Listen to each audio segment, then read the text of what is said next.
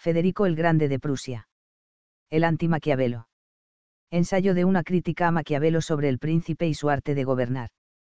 Prefacio, examen del príncipe de Maquiavelo. El príncipe de Maquiavelo es a la ética lo que la obra de Spinoza es a la fe. Spinoza vació la fe de sus aspectos fundamentales y resecó el espíritu de la religión, Maquiavelo corrompió a la política y se dedicó a destruir los preceptos de la sana moral. Los errores del primero fueron solo errores especulativos, los del segundo tuvieron fuerza práctica.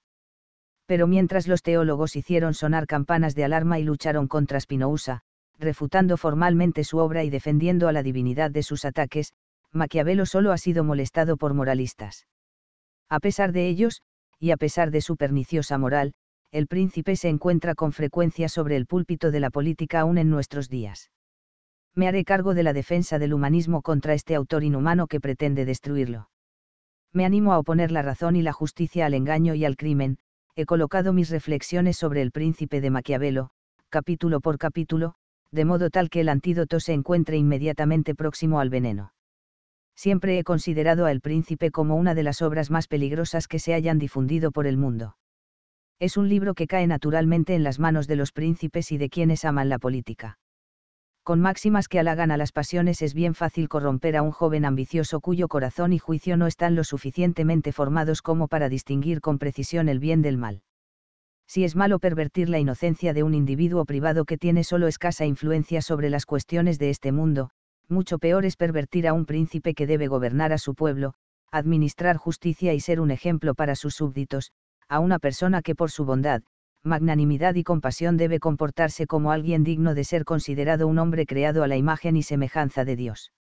Las inundaciones que devastan regiones enteras, el rayo que incendia ciudades reduciéndolas a cenizas, la plaga que se lleva la población de toda una provincia, todo ello no es tan perjudicial para el mundo como la peligrosa moral y las pasiones desenfrenadas de los reyes.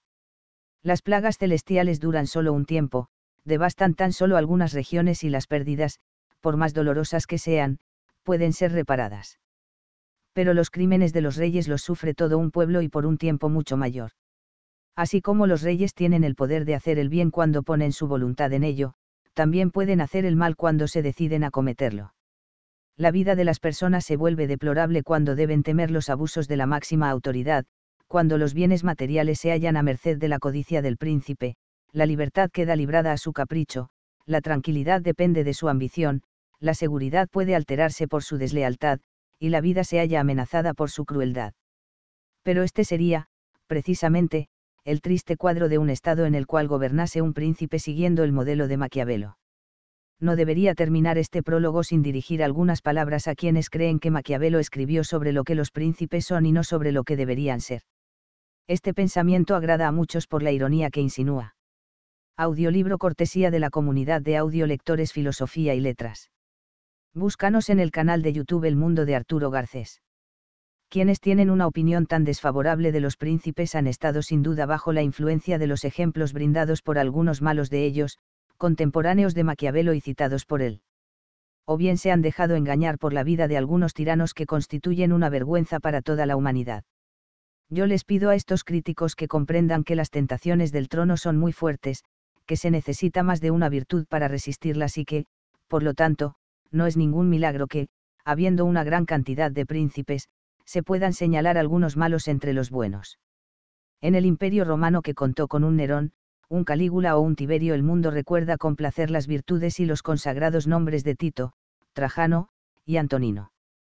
Es, pues, una gran injusticia recriminarle a toda una orden los vicios de tan solo algunos de sus miembros la historia debería preservar solo los nombres de los buenos príncipes dejando a los otros morir para siempre, junto con su indolencia, sus injusticias y sus crímenes. Los libros de historia serían menos voluminosos pero la humanidad se beneficiaría con ello, y el honor de vivir en la historia, el grabar un nombre en los tiempos futuros y quizás hasta en la eternidad, sería un premio otorgado tan solo a la virtud.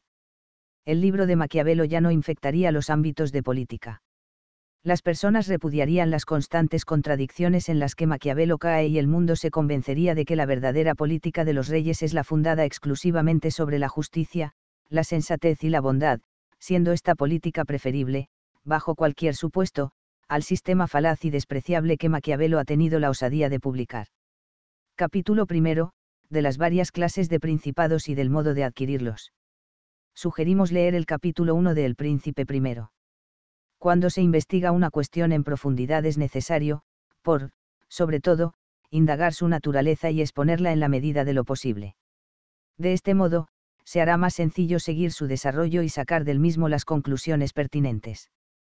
Antes de dedicarse a las formas de gobierno, Maquiavelo, en mi opinión, debería haber examinado su origen y establecido las razones por las cuales unos hombres libres habrían de decidirse a vivir bajo el gobierno de un señor.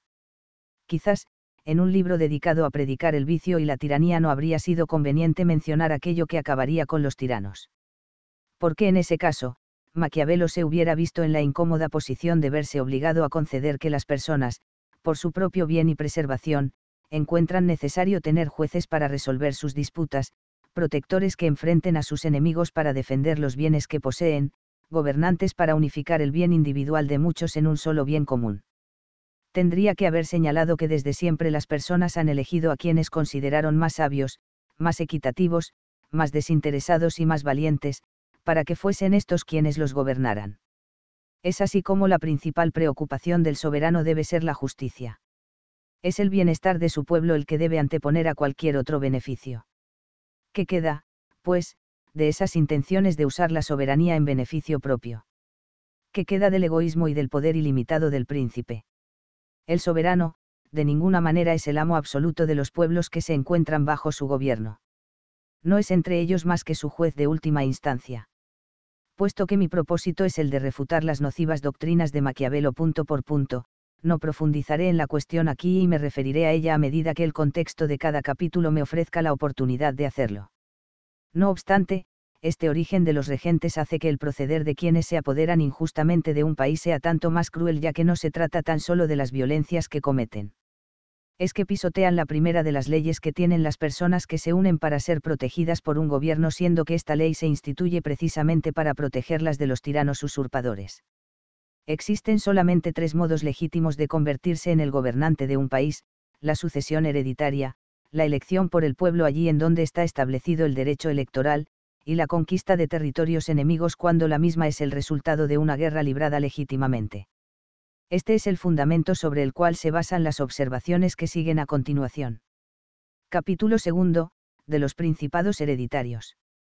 Sugerimos leer el capítulo 2 de El Príncipe I. Las personas tienen por todo lo antiguo un cierto respeto que hasta se parece a la superstición, y cuando el derecho de herencia complementa ese poder del respeto, no existe yugo pesado que se soporte con mayor facilidad. En consecuencia, estoy muy lejos de disputarle a Maquiavelo un punto que todos le concederán, las monarquías hereditarias son las más fáciles de gobernar.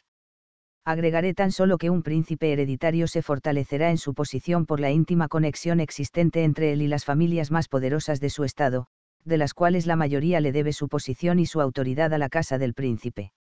El destino de estas familias está tan indisolublemente unido al del príncipe que no pueden abandonarlo a su suerte sin percibir que, de hacerlo, su propia caída sería la consecuencia cierta y necesaria.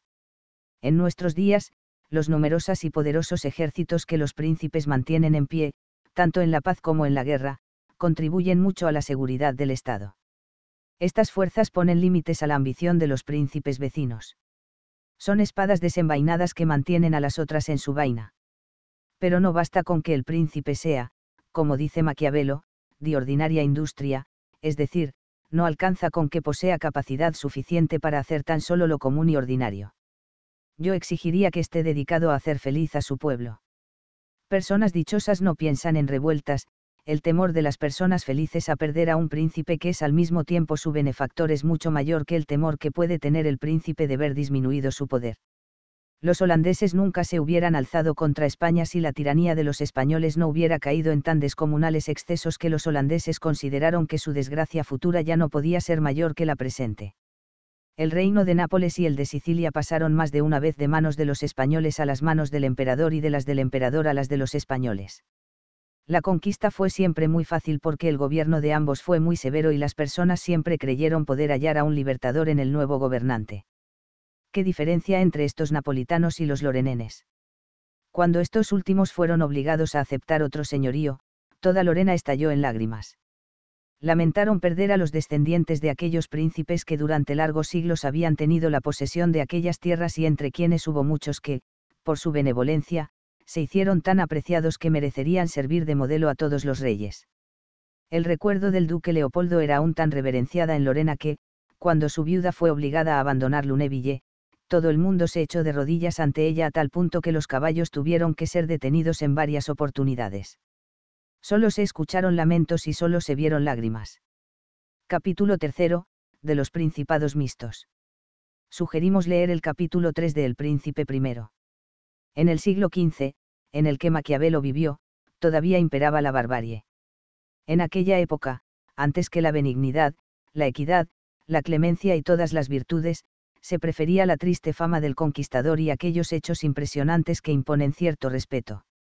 Actualmente, lo que yo veo es que, a la inversa, una disposición humana y generosa resulta antepuesta a todas las cualidades del dominador en la preferencia de las personas.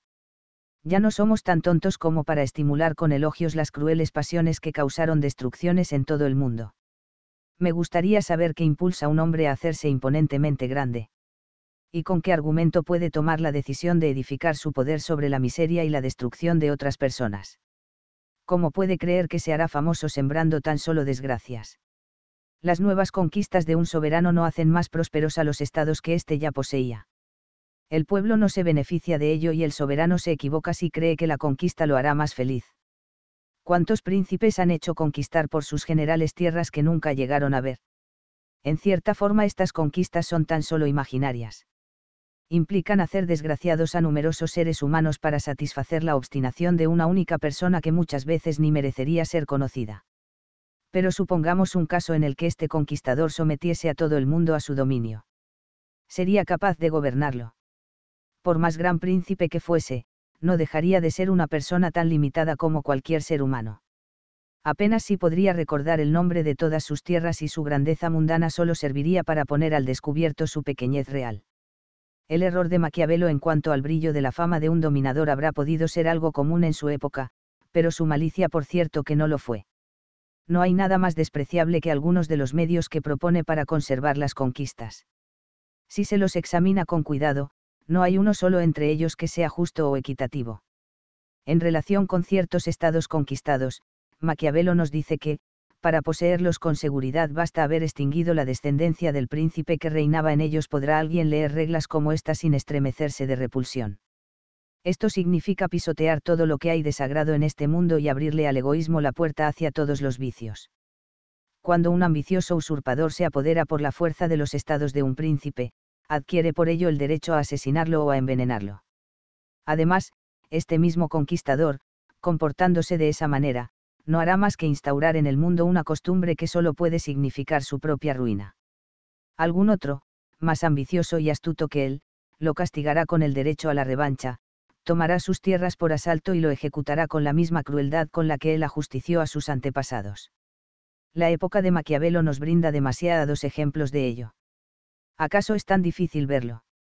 El Papa Alejandro V vivió en peligro de ser depuesto por sus vicios, su abominable bastardo, César Borgia, murió en la miseria, despojado de todas sus tierras, Galeazzo Sforza fue asesinado en plena iglesia de Milán, Ludovico Sforza, el usurpador, murió en Francia en una jaula de hierro, los príncipes de York y Lancaster se destruyeron mutuamente, los emperadores griegos se asesinaron entre sí, uno tras otro, hasta que por último los turcos se aprovecharon de sus vicios y destruyeron el escaso poder que les quedaba. Si hoy entre cristianos estos escándalos son menos frecuentes es porque los principios de la sana moral están empezando a ser más generales. Los seres humanos poseen un raciocinio más cultivado, en consecuencia, son menos salvajes, y quizás debemos agradecer esto a los hombres instruidos que limpiaron a Europa de bárbaros.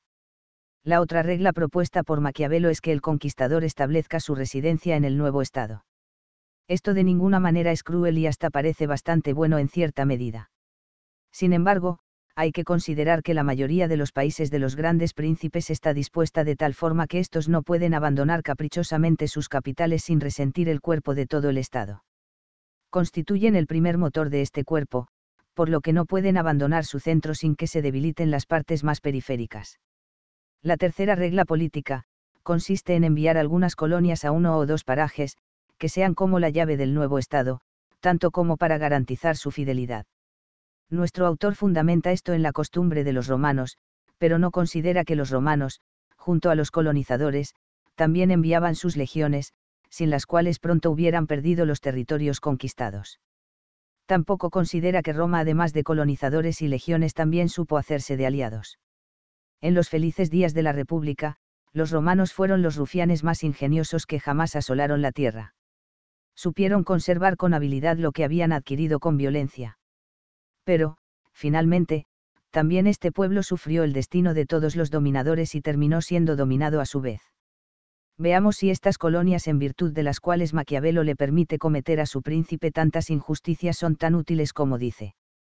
O bien se envían colonias fuertes al país recientemente conquistado, o bien se envían débiles.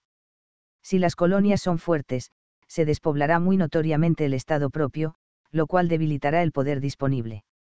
Si se envían colonias débiles, difícilmente servirán para conservar las nuevas conquistas, con lo cual se habrá causado la infelicidad de los desplazados sin ganar gran cosa a cambio. Por consiguiente, sería mucho mejor enviar tropas a las tierras recientemente conquistadas. Estas tropas, controladas por orden y disciplina, no podrán oprimir a los súbditos ni incomodarán a las ciudades en las que sean acuarteladas. Esta política es mejor, pero no podía ser conocida en la época de Maquiavelo.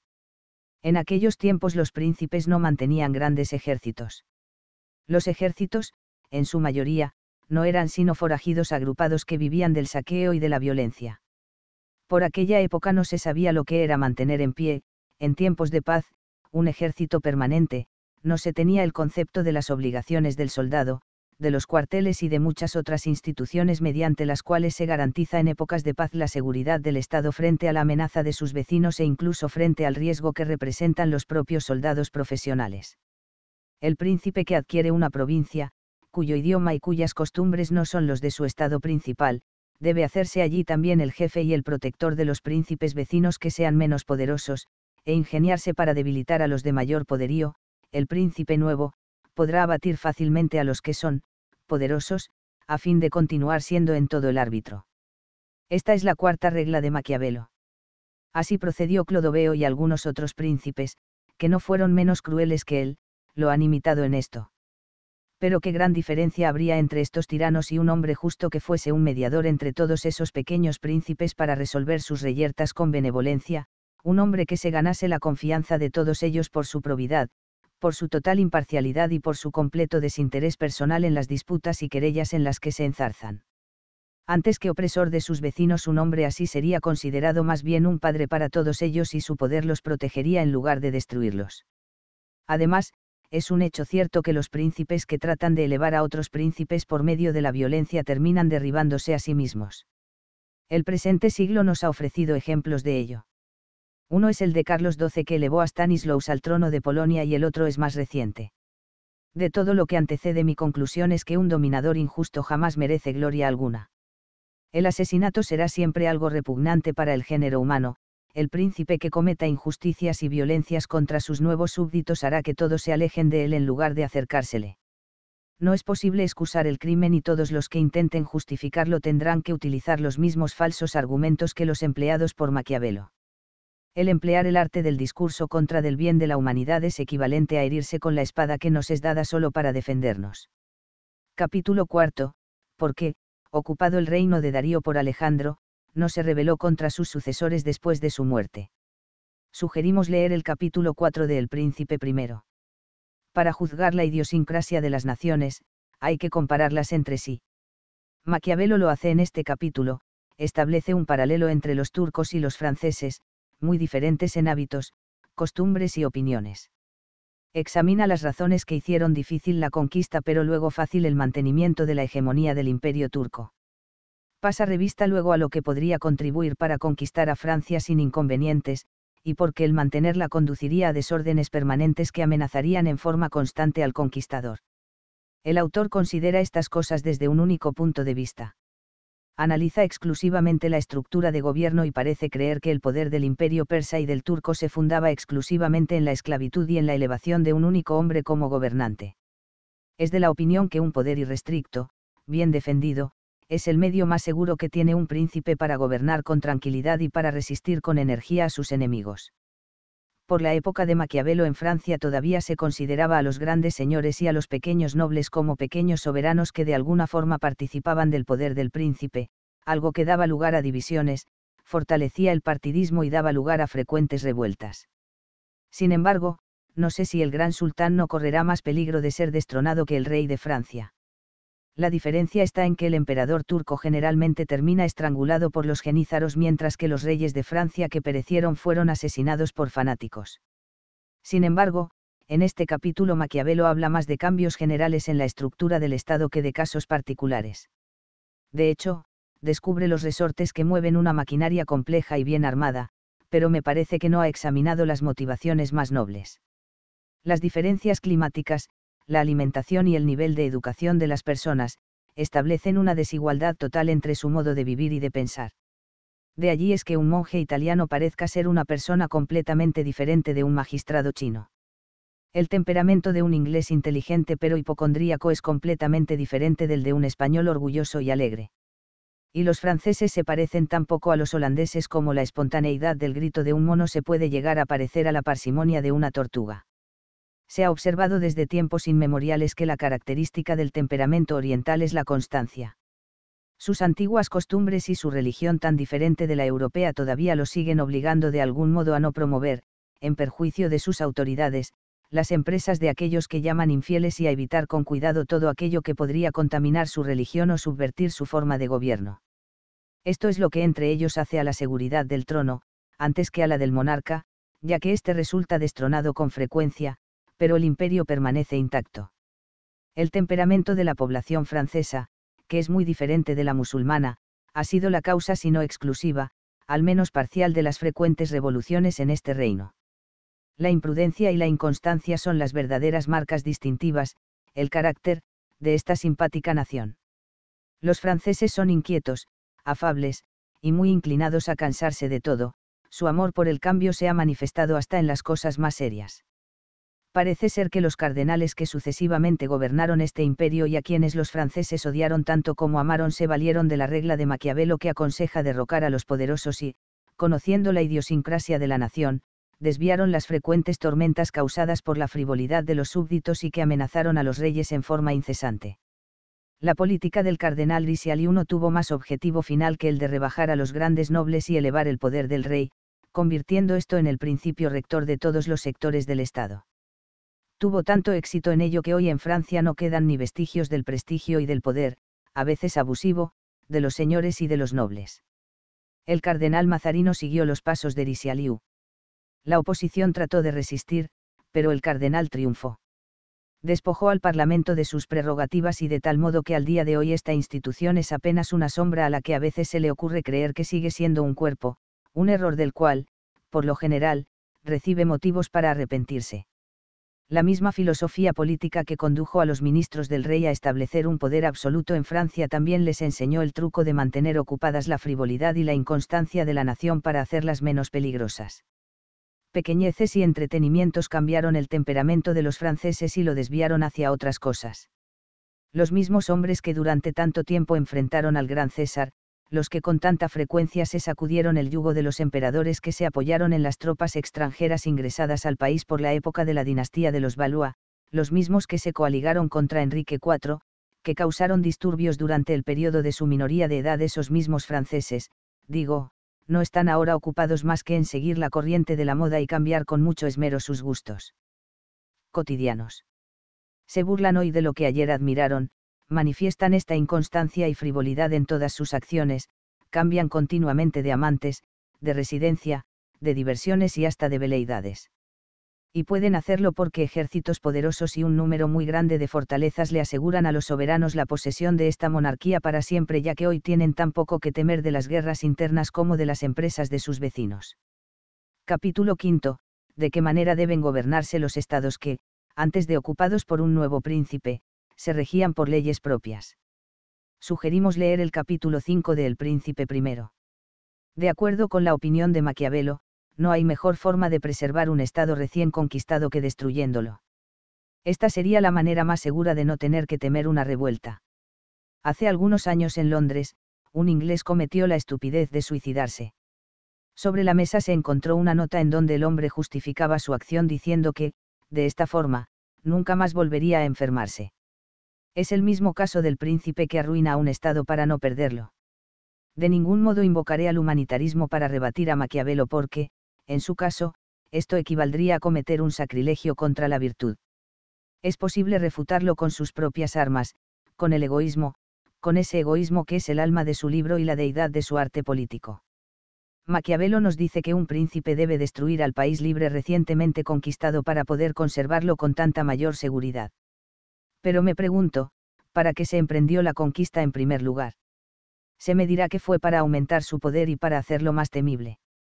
Pues precisamente eso es lo que quería oír para demostrar que de acuerdo con los propios principios propuestos por Maquiavelo lo que se logra es exactamente lo opuesto porque la conquista le ha costado mucho y destruyéndola lo único que logra es aniquilar al país que podría haberlo compensado de las pérdidas. Habrá de serme concedido que un país asolado, despojado de sus habitantes, no puede hacer poderoso a un príncipe. Creo que un monarca que poseyese los vastos desiertos de Libia y de Barca no sería temible por ello, como que tampoco creo que un millón de panteras, leones y cocodrilos valen lo mismo que un millón de súbditos, ricas ciudades, puertos navegables repletos de barcos, ciudadanos industriosos, tropas y todo lo que se supone que tiene un país bien poblado. Todo el mundo está de acuerdo en que la fuerza de un Estado no consiste en la extensión de sus fronteras sino en el número de sus habitantes. Compárese a Holanda con Rusia. En Holanda solo verán islas pantanosas y estériles surgiendo del regazo del océano, una pequeña república de no más de 48 millas de largo por 40 de ancho. Pero este pequeño cuerpo está lleno de nervios una innumerable cantidad de personas vive en él y este industrioso pueblo es muy poderoso y muy rico. Se sacudió el yugo de la dominación española que en ese momento era la monarquía más formidable de Europa. El comercio de esta república se extiende hasta los confines de la tierra y no le va demasiado en zaga al de los reyes. En tiempos de guerra puede mantener a un ejército de 50.000 hombres, sin contar a una numerosa y bien mantenida flota. Dirijamos ahora la mirada hacia Rusia tendremos ante los ojos a un país inmenso. Es un mundo similar al del planeta cuando recién emergía del caos. Este país linda, por un lado, con la Gran Tartaria y las Indias, por el otro con el Mar Negro y Hungría. Sus fronteras se extienden hasta Polonia, Lituania y Curlandia, Suecia es su límite hacia el noroeste. Rusia se extiende por 300 millas alemanas a lo ancho y por más de 600 a lo largo. El país es fértil en granos y provee todos los productos alimenticios necesarios para la vida, mayormente alrededor de Moscú y hacia la pequeña Tartaria. No obstante, a pesar de todas estas ventajas, contiene a lo sumo tan solo 15 millones de personas. Esta nación, cuya influencia solo está comenzando a aparecer en Europa, difícilmente sea más poderosa que Holanda en cuanto a tropas de tierra o mar, y lo es mucho menos en riquezas y recursos la fuerza de un Estado no consiste en la extensión de un país, ni en la posesión de una vasta desolación, o un inmenso desierto de cualquier clase de terreno, sino en la riqueza y en la cantidad de sus habitantes. Por consiguiente, el interés del príncipe es poblar al país, hacerlo florecer, y de ninguna manera le conviene devastarlo ni destruirlo. Si la maldad de Maquiavelo provoca rechazo, su razonamiento da lástima hubiera hecho mucho mejor en aprender a razonar correctamente que en ponerse a enseñar su fabulosa política a los demás. Un príncipe debe establecer su residencia en el estado recientemente conquistado. Esta es la tercera regla del autor. Resulta más moderada que las otras, pero ya he mencionado en el capítulo tercero las dificultades que se le oponen. Me parece que un príncipe que ha conquistado a una república después de haber tenido una causa justa para hacerle la guerra podría devolverle su libertad conformándose con haberla castigado. Pocas pensarán de este modo. Pero quienes están en desacuerdo podrían preservar la posesión de esa república estableciendo fuertes guarniciones en los principales sitios de su nueva conquista y dejándole al pueblo el goce de toda su libertad. Somos tan irracionales. Queremos conquistarlo todo como si tuviésemos tiempo para poseerlo todo, como si el tiempo establecido de nuestra duración no tuviese fin. Pero nuestro tiempo pasa en forma demasiado rápida y con frecuencia, cuando creemos estar trabajando para nosotros mismos, en realidad lo estamos haciendo tan solo para unos indignos y desagradecidos herederos. Capítulo sexto, de los principados que se adquieren por el valor personal y con las armas propias. Sugerimos leer el capítulo 6 de El Príncipe primero. Si los hombres no tuviesen pasiones sería encomiable que Maquiavelo tratase de adjudicarles algunas. Sería un nuevo Prometeo robándose el fuego celestial para darle vida a unos autómatas. Pero la realidad es muy distinta, ningún hombre carece de pasiones. Cuando son moderadas forman el alma de la sociedad, pero cuando se les sueltan las riendas, causan su desgobierno. De todos los impulsos que tratan de enseñorearse de nuestra alma, no hay ninguno más desastroso para quienes sienten su efecto, ni más contrario a la sensibilidad, ni más dañino a la paz del mundo, que la ambición desenfrenada y el irresistible afán por una falsa gloria. Un individuo privado que tiene la desgracia de haber nacido con estos impulsos termina siendo más miserable que ridículo. Vivirá ignorando el presente y existirá solo en función de un futuro imaginado, con lo que nada actual conseguirá satisfacerle porque la amargura de la ambición se mezclará siempre con la dulzura del placer. Un príncipe ambicioso es más desdichado que un individuo privado porque su desvarío, siendo proporcional a su posición, es más ambiguo, más caprichoso y más insaciable.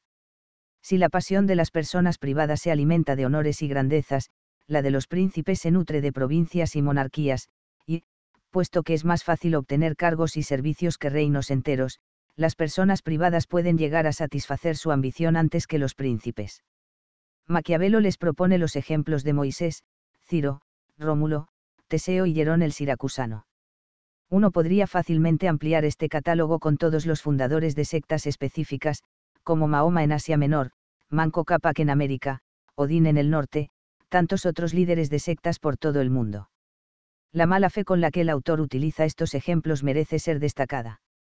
Maquiavelo habla solamente del lado agradable de la ambición cuando lo tiene en absoluto y menciona tan solo a los ambiciosos que han tenido suerte, manteniendo un cuidadoso silencio sobre quienes resultaron víctimas de sus pasiones.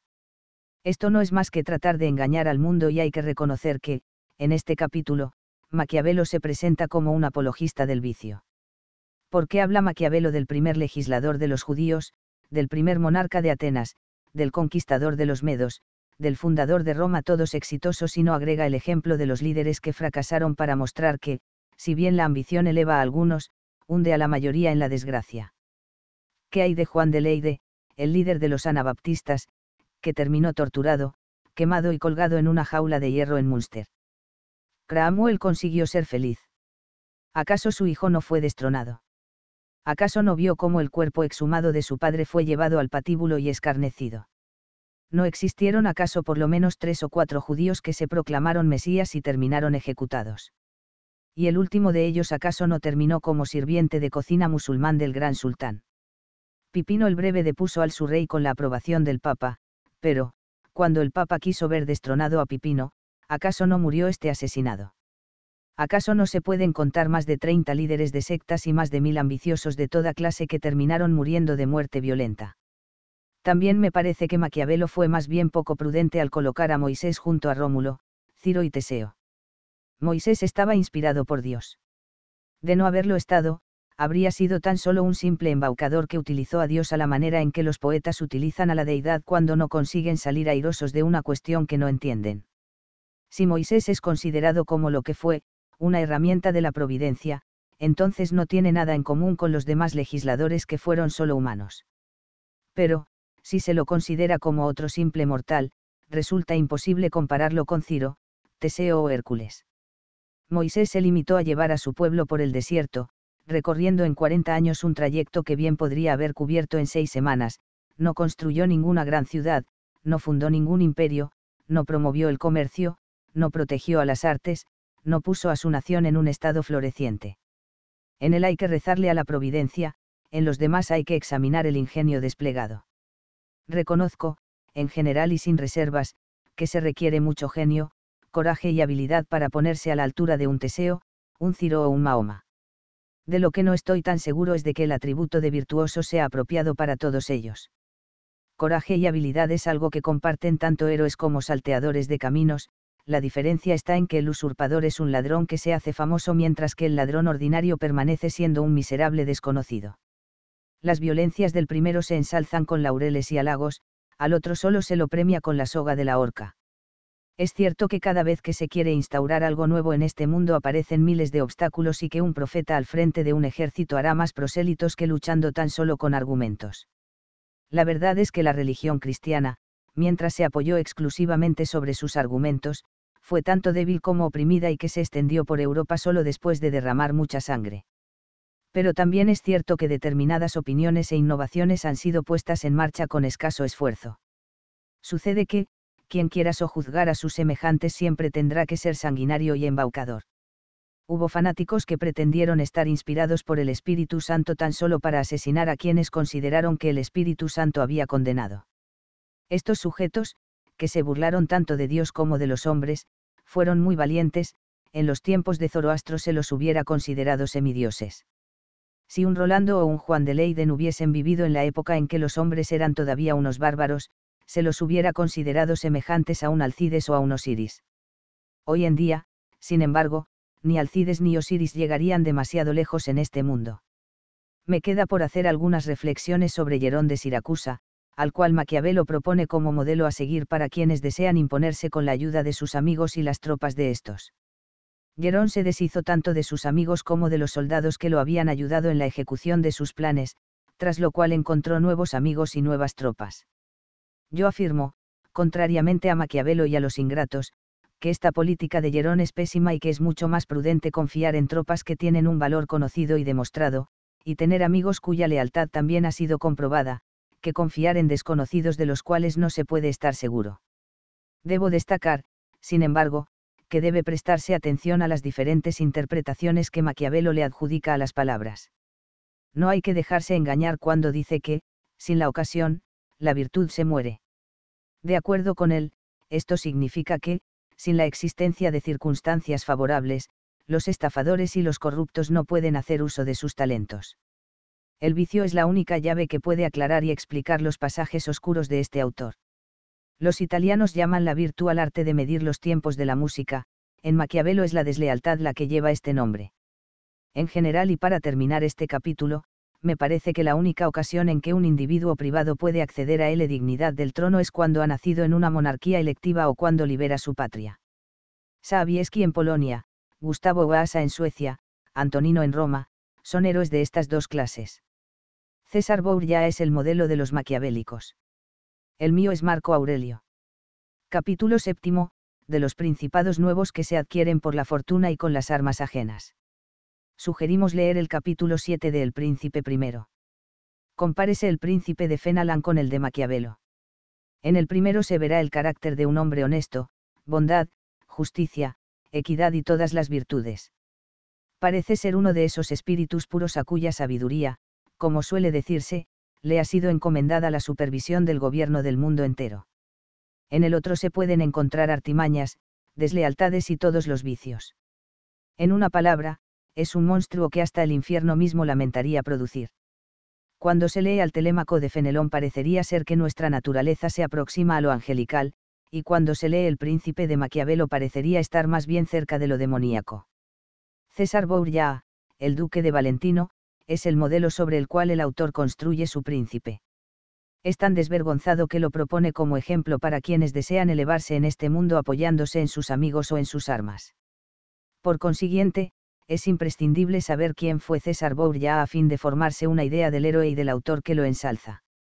Bourgeat hizo asesinar a su hermano, su rival en el matrimonio y en el amor, en lo de su propia hermana, hizo masacrar a la Guardia Suiza del Papa para vengarse de algunos suizos que habían ofendido a su madre, despojó a varios cardenales de sus fortunas para satisfacer su codicia, le quitó la Romagna a su legítimo titular, el duque de Erbinou, hizo ejecutar al sanguinario de Orco que era su propio esbirro, en Sinigaglia asesinó, por medio de una traición repugnante, a varios príncipes porque le pareció que estos se oponían a su interés personal, hizo ahogar a una noble dama veneciana luego de abusar de ella.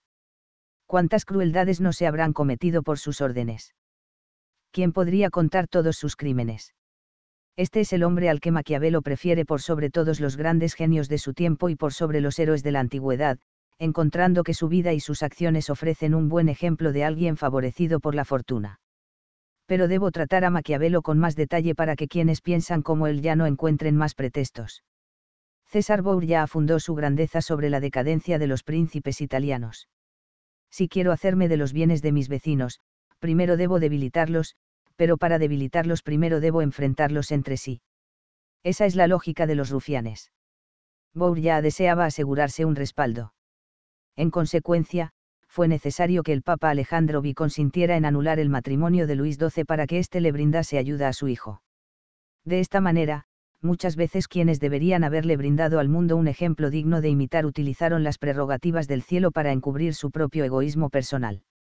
Si el matrimonio de Luis XII era de la clase que admitía una anulación, el Papa debió haberlo anulado antes, ya que tenía el poder para ello, y si el matrimonio no admitía una anulación, la cabeza de la Iglesia de Roma no debió haber permitido que nadie lo obligara a hacerlo. El proyecto de Bourgeat también requería cómplices.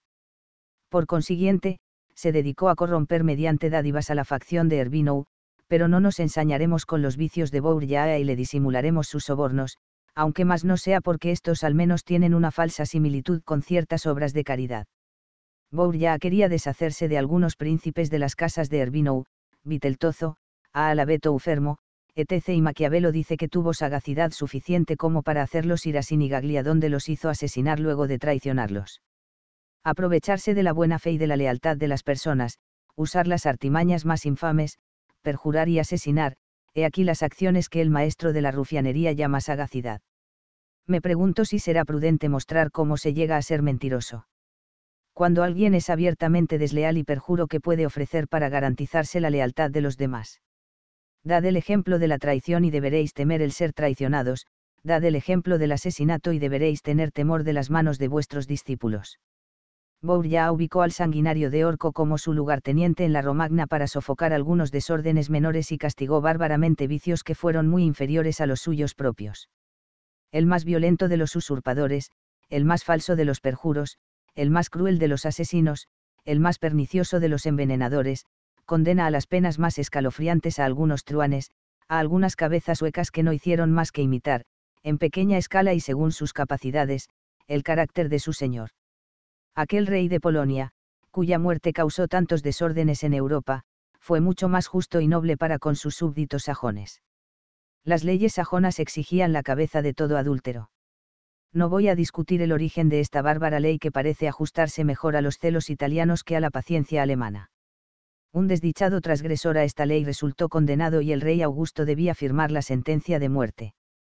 Pero Augusto era sensible al amor y poseía sentido humanitario, perdonó al transgresor y derogó la ley que, en secreto, él mismo estaba violando. La justicia de este rey nos muestra a un hombre sensible y humano. César Borgia castigó solo como un salvaje tirano. Sobre parte de su principado puso al cruel de Orco y luego, cuando éste había cumplido con las intenciones de su amo con toda perfección, para congraciarse con el pueblo lo hizo cortar en pedazos el yugo de la tiranía nunca es más pesado que cuando el tirano viste el disfraz de inocente y la opresión tiene lugar a la sombra de la legalidad. Bourgeois, haciendo sus previsiones hasta más allá de la muerte del su padre, el Papa, comenzó a exterminar a todos los que había despojado de sus bienes para que el nuevo Papa no pudiese usarlos contra él. Véase cómo un crimen lleva al otro, para cubrir los gastos es necesario poseer dinero, para poseer dinero es necesario desvalijar a quienes lo poseen, y para gozar de los bienes con seguridad hay que exterminar a los desvalijados. Razonamientos dignos de un bandolero. A fin de envenenar a algunos cardenales, Bourgeois los invita a cenar con su padre. Pero tanto padre como hijo, por error, terminan tomando ellos mismos los brebajes envenenados. Alejandro V muere por ello, Bourgeois sobrevive para llevar una vida desdichada. Una digna remuneración para envenenadores y asesinos. Esta es la prudencia, la habilidad y la virtud que Maquiavelo nunca se cansa de promover. Ni Bossuet, ni Flechier, ni Plinio, hubieran podido ensalzar a sus héroes más de lo que Maquiavelo glorifica a César Bourgeois. Si sus panegíricos fuesen tan solo una oda o una figura retórica, se podría admirar su ingenio aún despreciando la elección del personaje. Solo que es todo lo contrario. Es un tratado sobre el arte de gobernar escrito con la intención de servir a la posteridad, es una obra muy seria en la cual Maquiavelo comete el descaro de alabar al monstruo más despreciable que el infierno haya jamás vomitado sobre la tierra. Algo que equivale a exponerse irresponsablemente al desprecio de toda la humanidad. Capítulo octavo, de los que llegaron a príncipes por medio de maldades. Sugerimos leer el capítulo 8 de El Príncipe primero. Utilizaré aquí solo las propias palabras de Maquiavelo para rebatirlo. ¿Qué más atroz podría decir de él que aquí es donde suministra consejos a quienes desean llegar por medio del crimen a los más altos honores? Es el título de este capítulo. Si Maquiavelo se hubiese propuesto enseñar las reglas del crimen en una escuela de forajidos, o bien la deslealtad en una universidad de traidores, no sería ningún milagro que dictara estas materias. Es tan solo que se dirige a todos los seres humanos y, entre ellos, se dedica especialmente a quienes deberían ser los más virtuosos porque han sido designados para gobernar a las demás. ¿Qué puede ser más perjudicial y más desvergonzado que darles, precisamente a estas personas, cátedra de deslealtad y asesinato? Sería mejor para el bien de la humanidad que los ejemplos que Maquiavelo se complace en enumerar, como los de Agatocles y Oliverot de Fermo, fuesen ignorados por todo el mundo. A una persona que ya posee una íntima inclinación hacia la maldad, las biografías de Agatocles y de Oliverot de Fermo solo le sirven para que descubra y desarrolle la semilla de su tendencia dominante, sin conocerla realmente. ¿Cuántos jóvenes, por la lectura de novelas, no han descarriado por completo su razón al punto de no ver ni pensar de otro modo que Gandalf no mide? En la forma de pensar hay algo similar a lo que existe en una peste ya que siempre la razón del uno contagia a la del otro. Aquel ser extraordinario, aquel rey en quien todas las altas virtudes se transformaron en vicios en una palabra, Carlos XII de Suecia llevaba desde su más tierna infancia la biografía de Alejandro el Grande consigo, y muchas personas que conocieron muy bien a este Alejandro del Norte aseguran que Quinto Curtio asoló a Polonia. Estanislao era el heredero legítimo, sucesor de Abdolonimo, y la batalla de Arbela fue la causa de la derrota de Pultava. Me será permitido ir de un ejemplo tan eminente al más insignificante. Me parece que, cuando se discute la historia del espíritu humano y desaparecen las diferencias de condición y de estado, los reyes se revelan tan solo como seres humanos y que todos los hombres son de almas iguales. Y también que algunos acontecimientos no pueden explicarse como respuestas a impresiones sensoriales, o como meros ajustes a condiciones que pesan sobre el espíritu humano. Toda Inglaterra vio lo que sucedió en Londres hace algunos años atrás, se representó una comedia más bien pobre, con el título de Avers, Los asaltantes, en la cual se mostraban algunas de las triquiñuelas de los ladrones. A la salida del teatro muchas personas se dieron cuenta de que les faltaban los anillos, sus cajas de rapé y sus relojes. El autor de la comedia se hizo de discípulos tan rápidamente que estos hasta practicaron sus lecciones en la sala misma. Tan pernicioso es promover malos ejemplos desde la autoridad de un escenario. Hubiera sido de desear que Maquiavelo pusiese por ejemplo solo a personas como Alejandro el Grande, pero, en lugar de ello, ofrece a Agatocles y a Defermo como modelos del ingenio y del éxito. Según su opinión, estos consiguieron sostenerse en sus pequeños estados porque supieron ser crueles en el momento adecuado.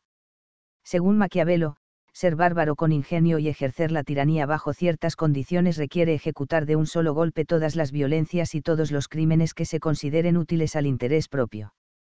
Su recomendación es, haced asesinar a todos aquellos de quienes sospecháis y que, por ello, son vuestros enemigos, pero no hagáis durar vuestra venganza por mucho tiempo. Maquiavelo aprueba acciones similares a las vísperas sicilianas y masacres como las de San Bartolomé, en donde se cometieron crueldades que hicieron estremecer a toda la humanidad. No le confiere importancia alguna a estos crímenes, a condición de que sean cometidos de tal forma que causen terror en el momento en que todavía son recientes nos ofrece como explicación que la imagen que el pueblo se forma de ellos desaparece más fácilmente que la de otros crímenes cometidos en forma secuencial y duradera. Como si no fuese igual de condenable asesinar a mil personas en un solo día que hacerlas asesinar una tras otra durante un largo periodo de tiempo. Sin embargo, no es suficiente refutar la despreciable moral de Maquiavelo, también es necesario revelar su engaño ya que no procede con honestidad. En primer lugar, es falso que Agatocles haya gozado en paz el fruto de sus crímenes. Estuvo casi constantemente complicado en guerras contra los cartagineses. Hasta se vio obligado a abandonar a su ejército en África que, tras su partida, masacró a sus hijos y él mismo terminó muriendo por un cáliz envenenado que le hizo tomar su nieto. Oliverot de Fermo murió por la traición de los Bour ya un año después de ascender al poder. De este modo, un criminal castigó al otro y, con su odio personal, solo se adelantó a lo que el odio generalizado contra de Fermo ya había gestado. Aun cuando el crimen pudiese ser cometido con impunidad, aun cuando el tirano no tuviese que temer un triste fin, aún así seguiría siendo desgraciado porque todo el mundo lo consideraría una vergüenza para el género humano. Nunca podrá acallar el testimonio íntimo de su conciencia que siempre hablará en su contra y ese será el verdadero, insoportable atormentador que llevará en su pecho. La verdad es que no está en la esencia de la naturaleza de nuestro ser el que un criminal sea feliz. Léase tan solo la biografía de un Dionisio, un Tiberio, un Nerón, un Luis XI o la de Juan Bosilovitz y se hallará que todas estas malas personas tuvieron el más desgraciado de los destinos. Una persona cruel tiene el temperamento de un misántropo atacado por negros humores. Si no es liberado desde su infancia de esta desafortunada condición, bajo ninguna circunstancia podrá evitar volverse tan furioso como insensato. De modo que, aun si no existiese la justicia en el mundo y un Dios en el cielo, aun así, los hombres deberían ser virtuosos porque solo la virtud puede unirlos ya que es imprescindible para su conservación y el crimen, a su vez, solo puede volverlos desgraciados y promover su propia desdicha.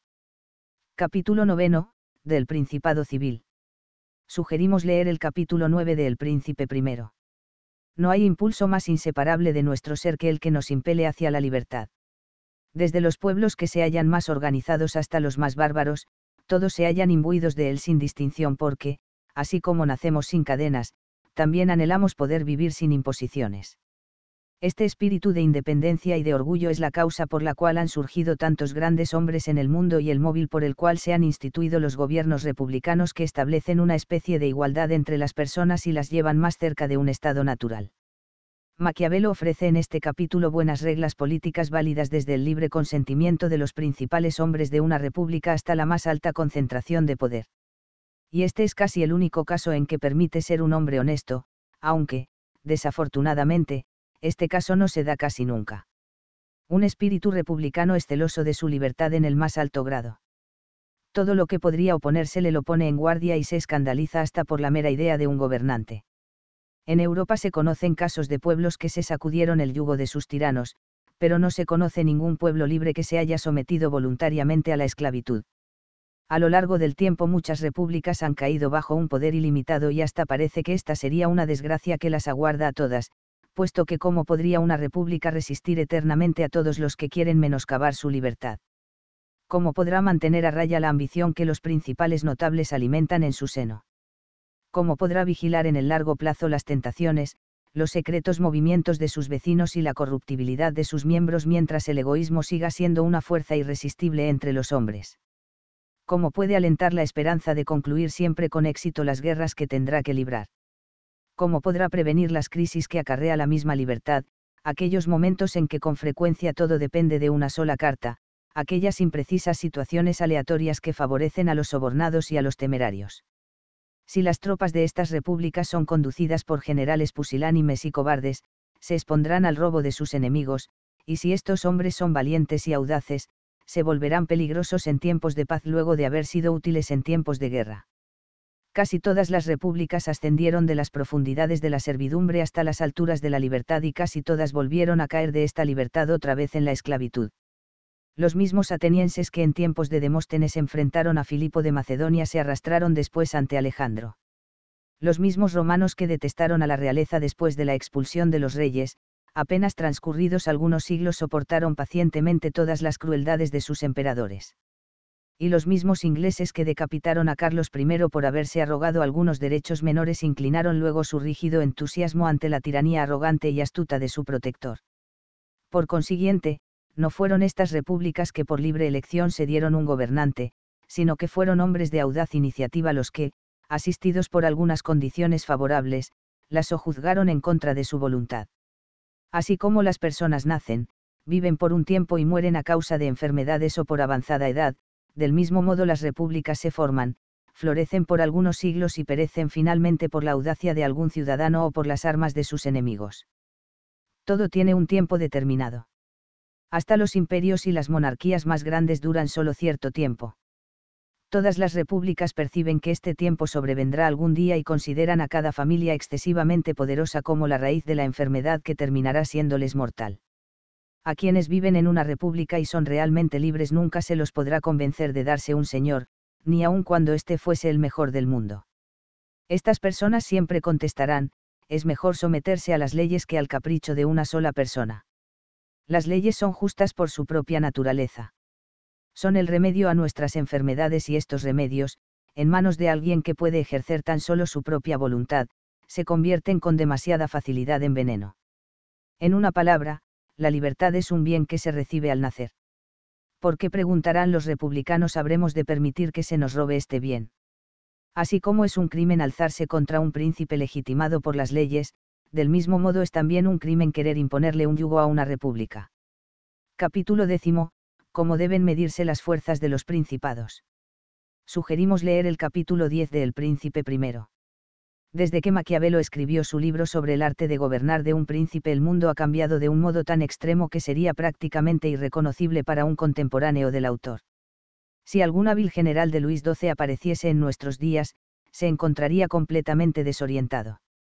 Vería que hoy se hace la guerra con innumerables soldados, todos los cuales son mantenidos tanto durante la paz como durante la guerra, mientras que, en sus tiempos, para los más grandes golpes y las mayores campañas bastaba un puñado de hombres y los soldados eran dados de baja una vez concluida la guerra. En el lugar de armaduras, lanzas y cañones sobre ruedas, encontraría reglamentos militares, fusiles con bayonetas, nuevas maneras de acampar, concentrarse, y especialmente el arte de la logística de las tropas, un arte que es por lo menos tan necesaria como el batir al enemigo. Pero ¿qué no diría Maquiavelo mismo si pudiese ver la nueva forma del cuerpo político de Europa, con tantos grandes príncipes que se hoy se destacan en el mundo y que en aquellos tiempos tenían escasa importancia? ¿Qué diría si viese cómo el poder de los reyes se haya fortalecido desde la base, la forma en que los príncipes hoy suelen negociar entre ellos, cómo el equilibrio europeo ha sido establecido mediante la interrelación de todas las grandes casas, y cómo se mantiene a raya la ambición de los demás asegurando así la paz del mundo. Todas estas cosas han producido un cambio tan profundo y general que las mayorías de las reglas de Maquiavelo ya resultan inaplicables a nuestra política actual. Eso se ve especialmente en este capítulo y he de dar algunos ejemplos de ello. Maquiavelo afirma que un príncipe cuyo país es extenso y rico en dinero y tropas puede soportar con sus propias fuerzas, sin la asistencia de ningún aliado, los ataques de sus enemigos. En esto, no soy de su opinión y, más aún, afirmo que un príncipe, por más temible que sea, no podría resistir solo el ataque de muchos enemigos poderosos y estará de hecho obligado a recurrir a la asistencia de algunos aliados. Si el más formidable, el más poderoso príncipe de Europa, si Luis XIV llegó a ese punto en la guerra por la sucesión española y si casi no pudo resistir la unión de tantos reyes y príncipes que deseaban reprimirlo, cuanto menos podría un príncipe más débil que él mantenerse sin aliados poderosos, a no ser que estuviese dispuesto a arriesgar mucho. Se dice y se repite sin mucha reflexión que los tratados son inútiles puesto que casi nunca se respetan todos los puntos de un tratado y que en esto los príncipes no son más hoy más escrupulosos de lo que fueron en cualquier otra época. A quienes piensan así les contesto que no tengo duda alguna de que podrán encontrar, tanto en la antigüedad como hoy, príncipes que no han cumplido puntillosamente con sus compromisos. Pero esto no cambia el hecho de que siempre ha sido muy útil concertar tratados mientras más aliados tengáis, menos enemigos tendréis y, aun cuando no os ayuden, al menos podréis lograr que por algún tiempo permanezcan neutrales. Maquiavelo habla luego acerca de los principini, o pequeños príncipes quienes, teniendo solo estados pequeños, no pueden poner a un ejército sobre el campo de batalla. El autor insiste mucho en que deben fortificar a su capital a fin de poder encerrarse en ella con su pueblo en tiempos de guerra. Los príncipes de los que habla Maquiavelo son en realidad andróginos, mitad soberanos y mitad individuos privados. Desempeñan el papel de grandes señores sobre un escenario demasiado pequeño. Pueden jugar al gran señor solo con sus sirvientes. Me parece que el mejor consejo que se les podría haber dado hubiera sido el de limitar la exagerada opinión que tenían de su magnitud, la extrema veneración que tenían por sus viejos e ilustres antepasados, y el irreal entusiasmo que demostraban tener por sus armas. El buen juicio sabe que es mejor aparecer ante el mundo como tan solo un señor que gobierna sin estridencias, mantener a lo sumo solamente una guardia suficiente como para mantener a raya a los ladrones fuera del castillo, a menos que éstos estuviesen tan hambrientos como para buscar ellos también refugio allí. Para estos pequeños príncipes lo mejor hubiera sido dejar de lado los baluartes, las murallas y todo lo que pudiese darle a sus residencias la apariencia de una ciudad poderosamente fortificada. Las razones son las siguientes, la mayoría de los pequeños príncipes están arruinados por gastos excesivos, desproporcionados en relación a sus ingresos, debido a que están intoxicados con una vana ilusión sobre su auténtico tamaño y poder. Preparan su propia ruina para mantener el honor de sus casas y su jactancia los lleva por el camino de la miseria.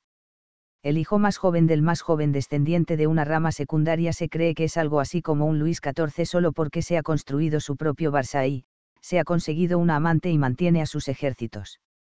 Existe actualmente cierto príncipe, pariente lejano de una gran familia noble, quien, en un estallido de fatuidad, mantiene a su servicio un ejército del tamaño equivalente al del servicio doméstico de un gran rey y que le cuesta una fortuna en oro ya que se haya compuesto por individuos cuidadosamente seleccionados de tantos pueblos diferentes que haría falta un microscopio para individualizar a cada uno de ellos. Así y todo, este ejército es tan pequeño que quizás sería lo suficientemente fuerte como para ganar una batalla en el Teatro de Verona. Cuando digo que los pequeños príncipes no hacen bien en fortificar sus residencias, la razón de ello es bien simple, no están en condiciones de hacerlo. Si están rodeados solamente de príncipes tan débiles como ellos mismos pueden tener motivos para fortificar sus pequeñas plazas. Pero, en ese caso, dos bastiones y doscientos soldados harán por ellos y sus vecinos lo mismo que verdaderas fortalezas y cien mil hombres hacen por los grandes reyes. Pero si estos señores se encuentran en la situación en la que estaban los varones de Francia e Inglaterra, o bien si son señores del imperio, en esos casos creo que las tropas y las fortalezas podrán arruinarlos, pero no hacerlos realmente más poderosos. El esplendor del Estado es peligroso cuando le falta el poder que lo respalda con frecuencia se destruye una dinastía cuando se pretende exagerar demasiado su grandeza, más de un príncipe descarriado ha sufrido esta triste experiencia. No se puede llamar afán de honores el mantener a todo un ejército cuando una guardia sería suficiente, o el mantener una guardia cuando un par de sirvientes alcanzarían. Eso ya es fatuidad, y la fatuidad lleva pronto a la pobreza. ¿Para qué querrían fortalezas? no están en situación de ser sitiados por sus iguales porque vecinos más poderosos que todos ellos intervendrían inmediatamente en la disputa y ofrecerían una mediación que ninguno podría rehusar.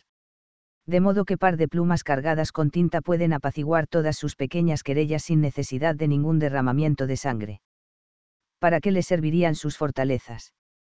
Aun cuando estuviesen en condiciones de soportar una campaña tan larga como la de Troya contra sus pequeños enemigos, no durarían ni lo que Jericó frente a los ejércitos de un monarca poderoso. Si, aparte de esto, se librase una gran guerra en su vecindad no tendrían la opción de permanecer neutrales ya que alguno de los contendientes los terminaría masacrando.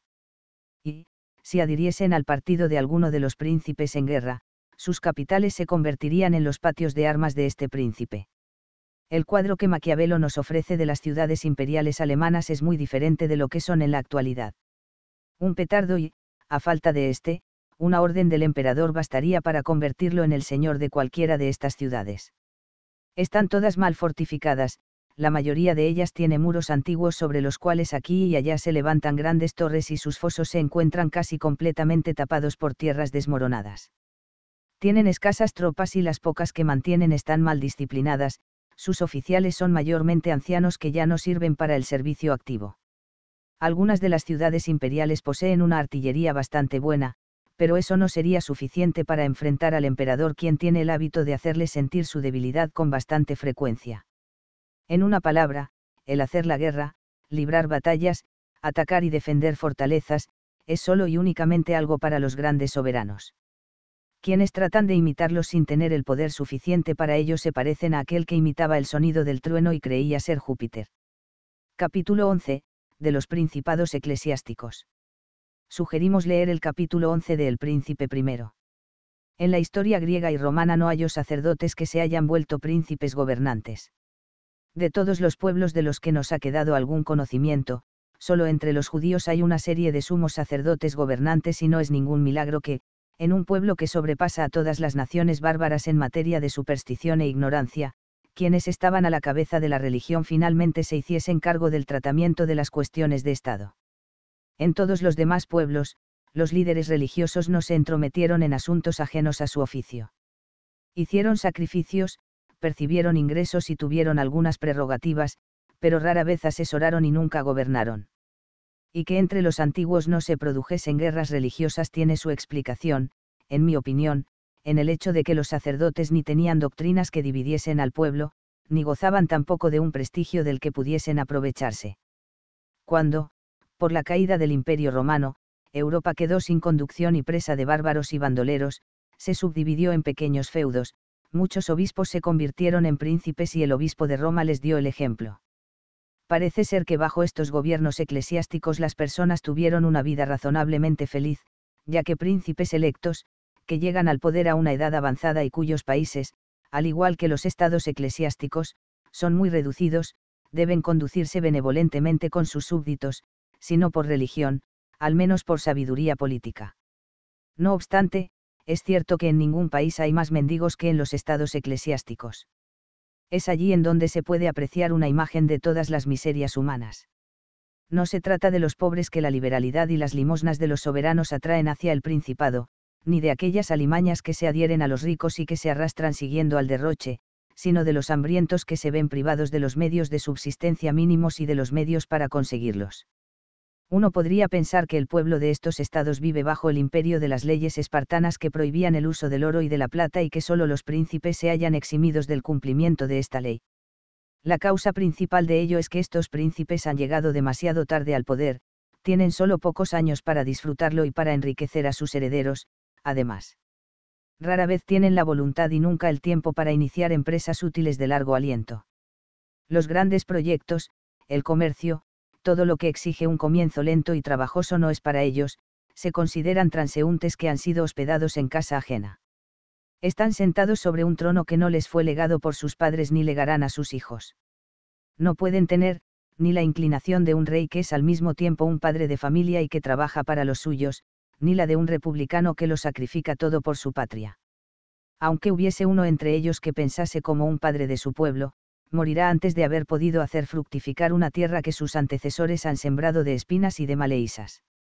Esta es la causa por la cual durante mucho tiempo se ha protestado contra algunos príncipes eclesiásticos que han enriquecido a sus concubinas, a sus nietos, o a sus bastardos. La historia de las autoridades de la Iglesia debería ofrecernos exclusivamente monumentos a la virtud. Pero, he sabido lo que se encuentra en ella, he sabido cuán corruptos han sido a veces quienes deberían haber sido tan puros los irreflexivos se maravillan de que los pueblos hayan soportado con tanta paciencia la opresión de príncipes de esta clase, y que hayan sufrido de un gobernante que se inclina ante el altar lo que no hubieran padecido de otro soberano coronado de laureles. Maquiavelo le adjudica esta sumisión del pueblo a la habilidad de un señor que es inteligente y malévolo a la vez. Por mi parte opino que la religión ha aportado mucho para mantener a las personas bajo el yugo. Un mal papa pudo haber sido odiado, pero su investidura fue venerada, la veneración inherente a su dignidad se extendió a su persona. A los nuevos romanos más de mil veces se les ocurrió buscar un nuevo señor, pero retrocedieron ante las armas sagradas que el antiguo esgrimía. A veces hubo rebeldías contra los papas, pero bajo la triple corona que gobierna a Roma no se ha producido ni la centésima parte de las revueltas que tuvieron lugar en la Roma pagana. Hasta tal punto es posible modificar las costumbres de las personas. El autor destaca lo que más ha contribuido a la soberanía de la sede romana cita como causa principal la hábil gestión de Alejandro V, el mismo papa cuyas crueldades y ambición no conocieron más justicia que su egoísmo. Si fuese cierto que uno de los hombres más malévolos que jamás hayan portado la triple corona es el que más ha consolidado el poder papal, ¿qué conclusión habría que sacar naturalmente de ello? La apología de León X constituye el final de este capítulo. Tuvo dones, pero no sé si habrá tenido virtudes. Sus excesos, su falta de fe, su deslealtad y su maravilloso intelecto son bastante conocidos. Maquiavelo no alaba en él precisamente estas cualidades, pero le adula y los príncipes de esa clase se merecen ese tipo de adulaciones. Si lo alabase por ser un príncipe espléndido y por haber restablecido las artes, tendría razón, pero es que lo alaba presentándolo como un gobernante de gran sabiduría política. Maquiavelo alaba a León X, pero no quiere alabar a Luis XII que fue un padre para su pueblo. Capítulo 12, de las diferentes clases de milicia y de los soldados mercenarios. Sugerimos leer el capítulo 12 de El Príncipe I. En el universo, todo es multifacético. El temperamento de los hombres difiere y la naturaleza respeta la misma variedad en el temperamento de los estados, si se me permite expresarlo de esa forma. En general, entiendo por temperamento de un estado lo dado por su situación, su tamaño, la cantidad y las costumbres de sus habitantes, su comercio, sus tradiciones, sus leyes, sus fuerzas y sus debilidades, su riqueza y sus recursos. Esta diferencia entre los gobiernos es muy notoria e incluso se hace infinita si uno la investiga hasta sus más pequeñas circunstancias, y, así como los médicos no tienen un remedio aplicable a todas las enfermedades y a todas las constituciones físicas, tampoco los políticos pueden prescribir reglas aplicables a todas las diferentes formas de gobierno. Esta reflexión me lleva a examinar la opinión de Maquiavelo sobre las tropas extranjeras y mercenarias. El autor desecha por completo su utilidad basándose en ejemplos por medio de los cuales intenta demostrar que estas tropas fueron más perjudiciales que útiles a los estados que las emplearon. Es cierto y demostrado por la experiencia que las mejores tropas de un estado son las regulares. Uno podría apoyar esta opinión con los ejemplos de la valerosa resistencia de Leónidas en las Termópilas y, en especial, con el sorprendente crecimiento del Imperio romano y el de los árabes. En consecuencia, esta máxima de Maquiavelo puede ser apropiada para todas las naciones lo suficientemente populosas como para disponer de una cantidad suficiente de soldados. Al igual que el autor, estoy persuadido de que el Estado está mal servido por los mercenarios y que la lealtad y el coraje de los hijos del país se duplica por los lazos que los unen. En especial es peligroso para un Estado dejar a sus súbditos en la holgazanería y permitir que, por relajamiento, se vuelvan afeminados durante una época en que los ejercicios militares y las batallas convierten a los vecinos en belicistas. Más de una vez se ha observado que los estados que acaban de terminar una guerra civil resultan muy superiores a sus enemigos ya que en una guerra civil todo el mundo se convierte en soldado. En estos casos, el mérito se destaca de un modo independiente de los favores y cualquiera que merece y siente deseos de sobresalir tiene la oportunidad de hacerlo, con lo que se educa a personas que sirven para múltiples tareas y estas personas vitalizan a la nación. Es una triste pero segura manera de volverse guerrero. Un rey sabio, sin embargo, cultivará de otra manera las inclinaciones guerreras de su pueblo. Enviará sus tropas a auxiliar a sus aliados o las someterá a marchas y ejercicios frecuentes. Solo en un estado amenazado por la guerra y que se encuentra casi despoblado resulta inevitablemente necesario recurrir a mercenarios extranjeros. Existen medios para atemperar los defectos de estos soldados, hay que entremezclar cuidadosamente la tropa mercenaria con la propia para evitar motines, hay que someterlos a la misma disciplina, hay que inculcarles progresivamente la misma lealtad y hay que vigilar con el mayor de los cuidados que los extranjeros no se vuelvan más fuertes que los autóctonos. Existe un rey en el norte cuyo ejército está formado por esta clase de combinación y quien no es por ello menos poderoso ni menos formidable la mayoría de las tropas europeas está constituida tanto de nacionales como de mercenarios. Los campesinos y los burgueses aportan algo al mantenimiento de los soldados que han de defenderlos, pero ellos mismos ya no concurren al campo de batalla. Los soldados regulares se reclutan de entre los elementos menos valiosos del pueblo, entre vagabundos que prefieren la holgazanería al trabajo, entre viciosos que esperan hallar mucho libertinaje e impunidad en la vida militar, entre jóvenes temerarios que se han rebelado contra sus padres y que se alistan por simple capricho. Todos ellos sienten tan poca solidaridad para con sus jefes y serán tan inconstantes como los extranjeros. Cuán diferentes son estas tropas de aquellas romanas que conquistaron al mundo. Las deserciones, tan frecuentes en la actualidad en todos los ejércitos, eran desconocidas entre los romanos. Estos hombres que combatían por sus familias, por sus dioses lares, y por todo lo que más amaban en la vida, ni siquiera pensaban en abandonar todo ello mediante una vergonzosa deserción. Lo que todavía garantiza la seguridad de los grandes príncipes de Europa es que, en esta materia, sus pueblos son casi iguales y ninguno de ellos aventaja al otro. Solo los suecos son simultáneamente ciudadanos, campesinos y soldados. Pero sucede que, cuando salen de campaña, no queda casi nadie para cultivar los campos por lo que, en consecuencia, no pueden librar una guerra prolongada sin perjudicarse ellos mismos más que el enemigo. Tanto por los mercenarios. En cuanto al modo en que un gran príncipe debe hacer la guerra, estoy totalmente de acuerdo con la opinión de Maquiavelo. Un gran príncipe debe conducir personalmente a su pueblo. Su ejército debe ser su residencia. Su interés, su deber, su honor, todo lo une a ese ejército así como es la autoridad máxima en materia de justicia y el designado a administrarla, del mismo modo también es el defensor de sus súbditos. Esta función es una de las más importantes de su gobierno por lo cual deberá reservarla para sí mismo y no delegarla en otros. Por, sobre todo, su presencia pondrá fin a los desacuerdos entre sus generales, algo que ciertamente es tan desastroso para los ejércitos como contrario al interés del soberano También pone al príncipe en condiciones de establecer el orden adecuado en materia de logística y provisiones sin las cuales hasta César al frente de 100.000 hombres sería incapaz de obtener resultados. Así como es el príncipe quien hace librar las batallas, también parecería ser que le corresponde disponerlas y dirigirlas, comunicando por medio de su presencia valor y confianza a los soldados ya que está a su frente exclusivamente para dar el ejemplo. Sin embargo, se dirá que no todos han nacido para ser soldados y muchos príncipes carecen del talento, la experiencia y hasta del coraje necesario para comandar un ejército. Esto es cierto, lo reconozco. Pero ¿acaso no existen en todo ejército generales con experiencia? El príncipe solo tendrá que seguir su consejo y la guerra transcurrirá siempre mejor que cuando los generales se encuentran bajo el mando de un ministro que no tiene experiencia militar, que por consiguiente no se encuentra en situación de tomar decisiones acertadas, y que con frecuencia hace que al general más hábil le resulte imposible demostrar su talento.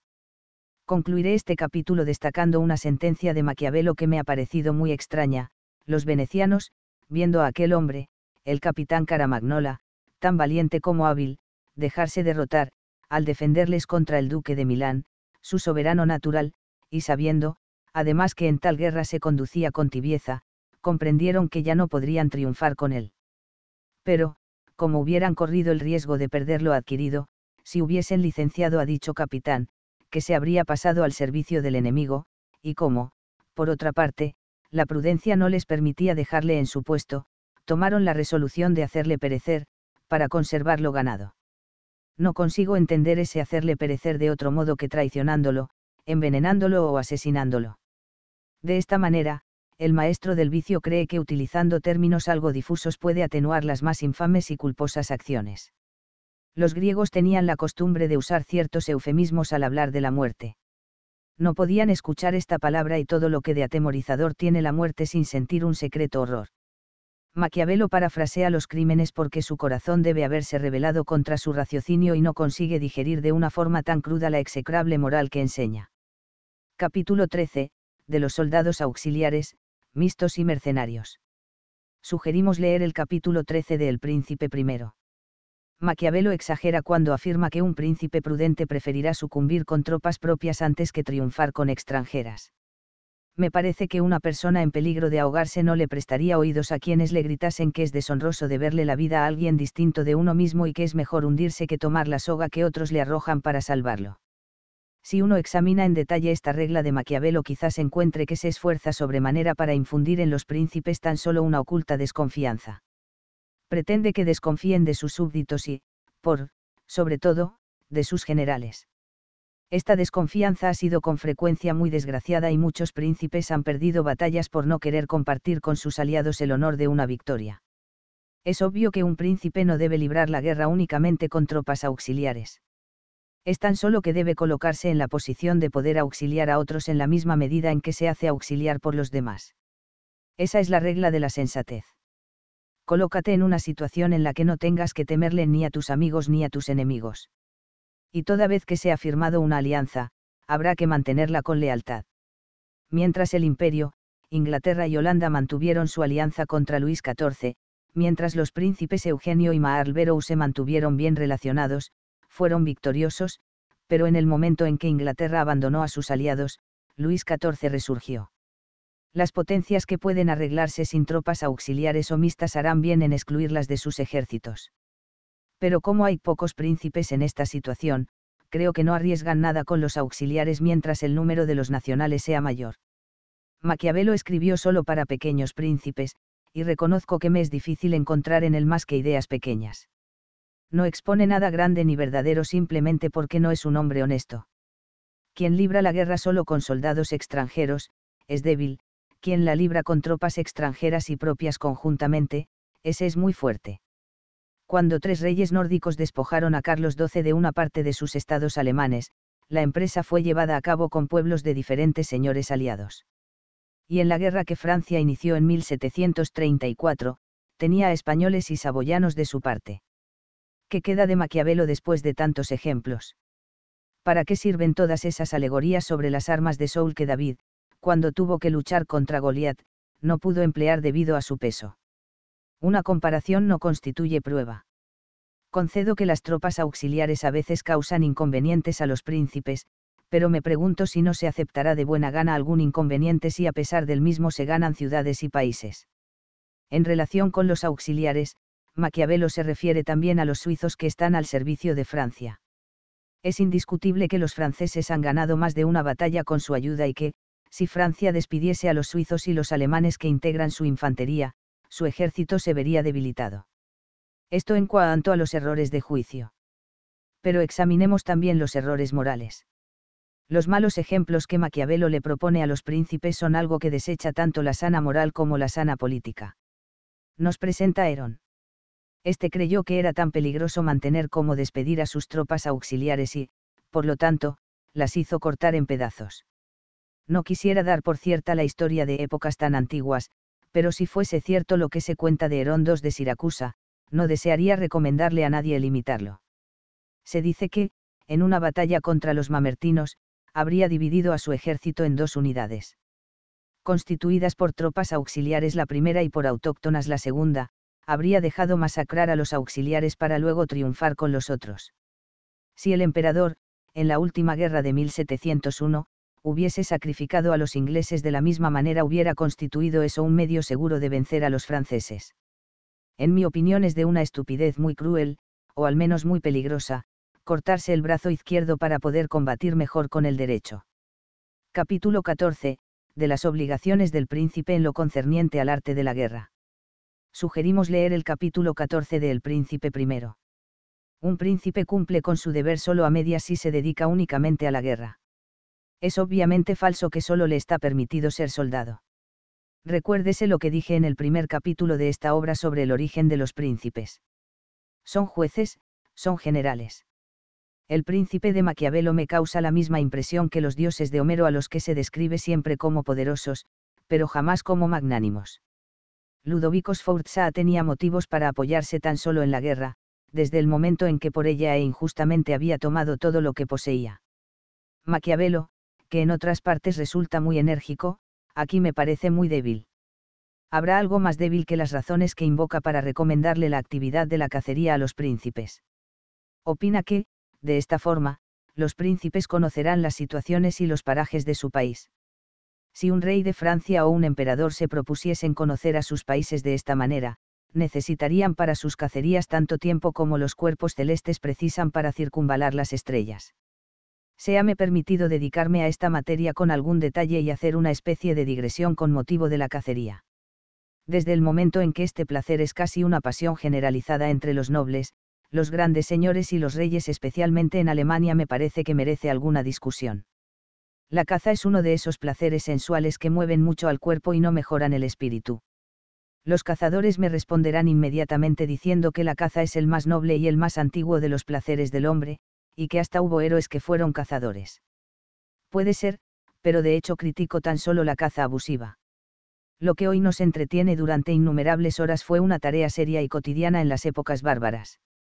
Nuestros antepasados, al no tener nada mejor que hacer, pasaban el tiempo de cacería. Perdían en los bosques persiguiendo animales salvajes aquellas horas que no podían pasar en compañía de personas inteligentes porque carecían tanto de la habilidad como del entendimiento para hacerlo lo que me pregunto si ese realmente es un ejemplo digno de ser imitado. La vida civilizada debe aprender de la rústica. ¿O no será más bien que las épocas esclarecidas le deben servir de modelo a las siguientes? Si hay algo que nos otorga una ventaja por sobre los animales que perseguimos, ese algo es nuestra razón. Pero las personas que se dedican únicamente a la caza tienen la cabeza llena de caballos, perros y toda clase de animales a veces son muy toscos y es de temer que se volverán tan inhumanos con las personas como lo son con los animales o bien, al menos, que el cruel hábito de martirizar con indiferencia los haga menos compasivos para con la desgracia de sus semejantes. Es este el placer que se presenta como tan noble. Es esta una ocupación tan digna de un ser pensante. Se me objetará que la cacería es buena para la salud, que la experiencia demuestra que los cazadores llegan a edades avanzadas, que se trata de un placer inocente, apropiado para los grandes señores porque les permite mostrar su magnificencia, disipa sus preocupaciones y les ofrece un cuadro de guerra en épocas de paz. Nada más lejos de mi intención que el desechar un ejercicio físico moderado, solo nótese que este ejercicio es indispensable únicamente para los intemperados. Ningún príncipe vivió más años que el cardenal de Fleury, el cardenal Saimeineis, o el último papa, y ninguno de los tres fue cazador. Además, es tan importante que el ser humano estire el hilo de una vida indiferente e inútil hasta la edad de Matusalén. Mientras más haya pensando, mientras más cosas bellas y útiles haya realizado, más habrá vivido. Reconozco que la caza tiene algo de magnífico y que la magnificencia es algo que se le exige a los príncipes. Pero cuántas otras maneras más útiles no habrá para demostrar esa magnificencia. Si los animales salvajes se multiplicasen en demasía, amenazando con arruinar las tierras del campesino, bastaría contratar a cazadores y pagarles para exterminarlos. Los príncipes, en realidad, solo deberían preocuparse por capacitarse y por gobernar, por adquirir más conocimientos y aprender a relacionar más conceptos. Su profesión requiere pensar correctamente y disponer acciones coherentes con ese pensamiento. A Maquiavelo le debo contestar en forma especial que no es necesario ser cazador para ser un gran general.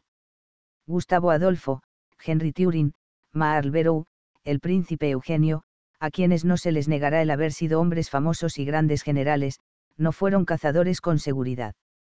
Tampoco hemos leído que César, Alejandro o Escipión lo hayan sido. Paseando apaciblemente se puede reflexionar más juiciosamente y obtener conclusiones más sólidas en cuanto a las distintas condiciones de un país respecto de la guerra que cuando halcones, perros, ciervos, toda clase de animales y el calor de la cacería dispersan los pensamientos. Un gran príncipe que condujo su segunda campaña en Hungría estuvo a punto de caer en manos de los turcos porque se perdió en medio de una cacería. A los ejércitos se les debería prohibir la caza en vista de que ya ha producido muchos desórdenes a lo largo de la marcha. Concluyo, pues, diciendo que se les puede muy bien perdonar a los príncipes si salen de cacería, siempre y cuando lo hagan rara vez, para recuperarse de sus más serias y a veces muy tristes tareas. Lo repito, no es mi intención proscribir ninguno de los pasatiempos decentes, pero la dedicación a gobernar bien, a hacer florecer al país, a defenderlo y a cosechar los frutos de todas las artes es, sin duda, el mayor de los placeres. Desgraciado aquel que todavía necesita otros adicionales. Capítulo 15. De las cosas por las que los hombres, y especialmente los príncipes, son alabados o censurados. Sugerimos leer el capítulo 15 de El Príncipe I. Los pintores y los historiadores tienen en común el que ambos están obligados a representar a la naturaleza. Los primeros retratan los rasgos y los colores de las personas, los segundos, sus personalidades y sus acciones. Hay pintores extraños que no han pintado más que monstruos y demonios. Maquiavelo es un pintor de esta clase. Presenta al mundo como un infierno y a todos los hombres como demonios se podría decir que este político ha querido difamar a todo el género humano por odio al mismo y se ha propuesto destruir la virtud para que todos los habitantes del planeta se parezcan a él. Maquiavelo pretende que, en un mundo tan malo y corrupto, no es posible ser completamente bueno sin exponerse a perecer. Por mi parte afirmo que, a fin de no perecer, hay que ser tanto precavido como virtuoso. Si lo sois, hasta las personas más malévolas os temerán y respetarán. Los hombres en general, y también los reyes en particular, por lo común no son ni totalmente buenos, ni totalmente malos. Pero tanto los malos, como los buenos y los intermedios se unirán todos para sostener a un príncipe poderoso, justo y hábil. Preferiría ir a la guerra contra un tirano antes que contra un buen rey, combatir a un Luis XI o a un emperador como Domiciano antes que a Trajano, porque a un buen rey todos lo servirán con dedicación mientras que los súbditos de un tirano se unirán a mi pueblo. Séame permitido ir con diez mil hombres a Italia contra un Alejandro V y más de la mitad de los italianos estará de mi lado.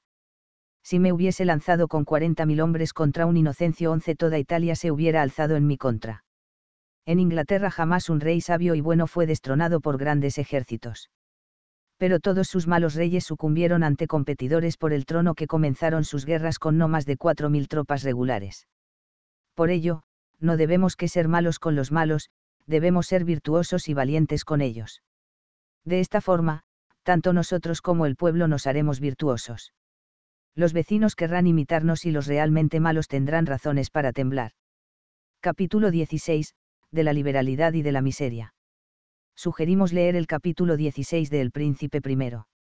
Dos famosos escultores, Fidias y Alcamenes, esculpieron, cada uno, una escultura de Minerva. De ambas, los atenienses debían elegir a la más bella para colocarla en lo alto de una columna. La de Alcamedes ganó el premio mientras que de la otra se dijo que estaba demasiado toscamente trabajada.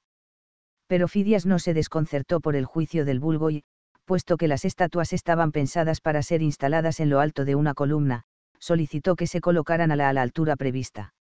Después de que ambas fueron colocadas sobre columnas, la de Fidias obtuvo la mayoría de los votos. Fidias cosechó su éxito gracias a su estudio de la óptica y las proporciones. Del mismo modo, esta regla de la relación proporcional tiene que ser respetada en el arte de la política. La diferencia de los lugares hace a la diferencia de las reglas. Quien trate de aplicar alguna en forma indiscriminada terminará siendo, el mismo, la causa de su incongruencia. Lo que se aplica perfectamente a un gran reino resultaría desastroso en un pequeño país. El lujo que nace de la abundancia y que hace circular las riquezas por las venas de un Estado hace que un reino florezca. Un principado de esta clase fomenta la laboriosidad, aumenta las necesidades de los ricos y justamente por ello los hace más dependientes de los pobres. Si a un estadista torpe se le ocurriese tratar de erradicar el lujo de un gran imperio, lo único que lograría sería hacerlo caer en el estancamiento y en la debilidad. En un estado pequeño, por el contrario, el despilfarro causaría un colapso. El dinero que saldría del país en una proporción mayor a su reingreso representaría para el pequeño cuerpo un drenaje de recursos que, indefectiblemente, lo haría enfermar y caer en el agotamiento. Por lo tanto, es una regla esencial de toda política que jamás se deben confundir los estados pequeños con los grandes y es precisamente en esto que Maquiavelo se equivoca seriamente en el presente capítulo. El primer error que debo destacar es que le otorga a la palabra liberalidad un sentido demasiado vago. No distingue adecuadamente liberalidad de despilfarro. Nos dice que un príncipe deseoso de obtener grandes logros, debe tener fama de avaro. Por el contrario, pienso que debe parecer y hasta ser generoso. No conozco a ningún héroe que no lo haya sido. El demostrar avaricia equivale a decir, no esperen nada de mí, remuneraré mal vuestros servicios. Con esto no se logra más que extinguir el natural deseo que todo súbdito tiene de servir a su señor. Es indudable que solo un buen administrador puede ser generoso. Solo quien dispone racionalmente de sus bienes puede hacer el bien a los demás. Es conocido el ejemplo de Francisco I, rey de Francia. Sus gastos excesivos fueron parcialmente la causa de su desgracia. Este reino fue magnánimo sino despilfarrador y, al aproximarse su fin, se volvió algo avaro ya que, en lugar de administrarse correctamente, puso sus tesoros en cofres. Es que no hay que tener tesoros estancados y sin circulación. Lo que hay que tener es, fuertes ingresos y un tesoro, además. Quien no sabe hacer más que acaparar y enterrar dinero, sea rey o persona privada, no ha entendido de qué se trata. En Florencia, la casa de los Medici pudo mantenerse en el poder solo porque el gran Cosmo, el padre de la patria, un simple comerciante, fue hábil y magnánimo. Un avaro es de espíritu pequeño y creo que el cardenal de Retz tiene razón cuando dice que en las grandes empresas no hay que mirar el dinero. Un príncipe, por lo tanto, debe asegurarse de tenerlo en abundancia para cuando llegue el momento.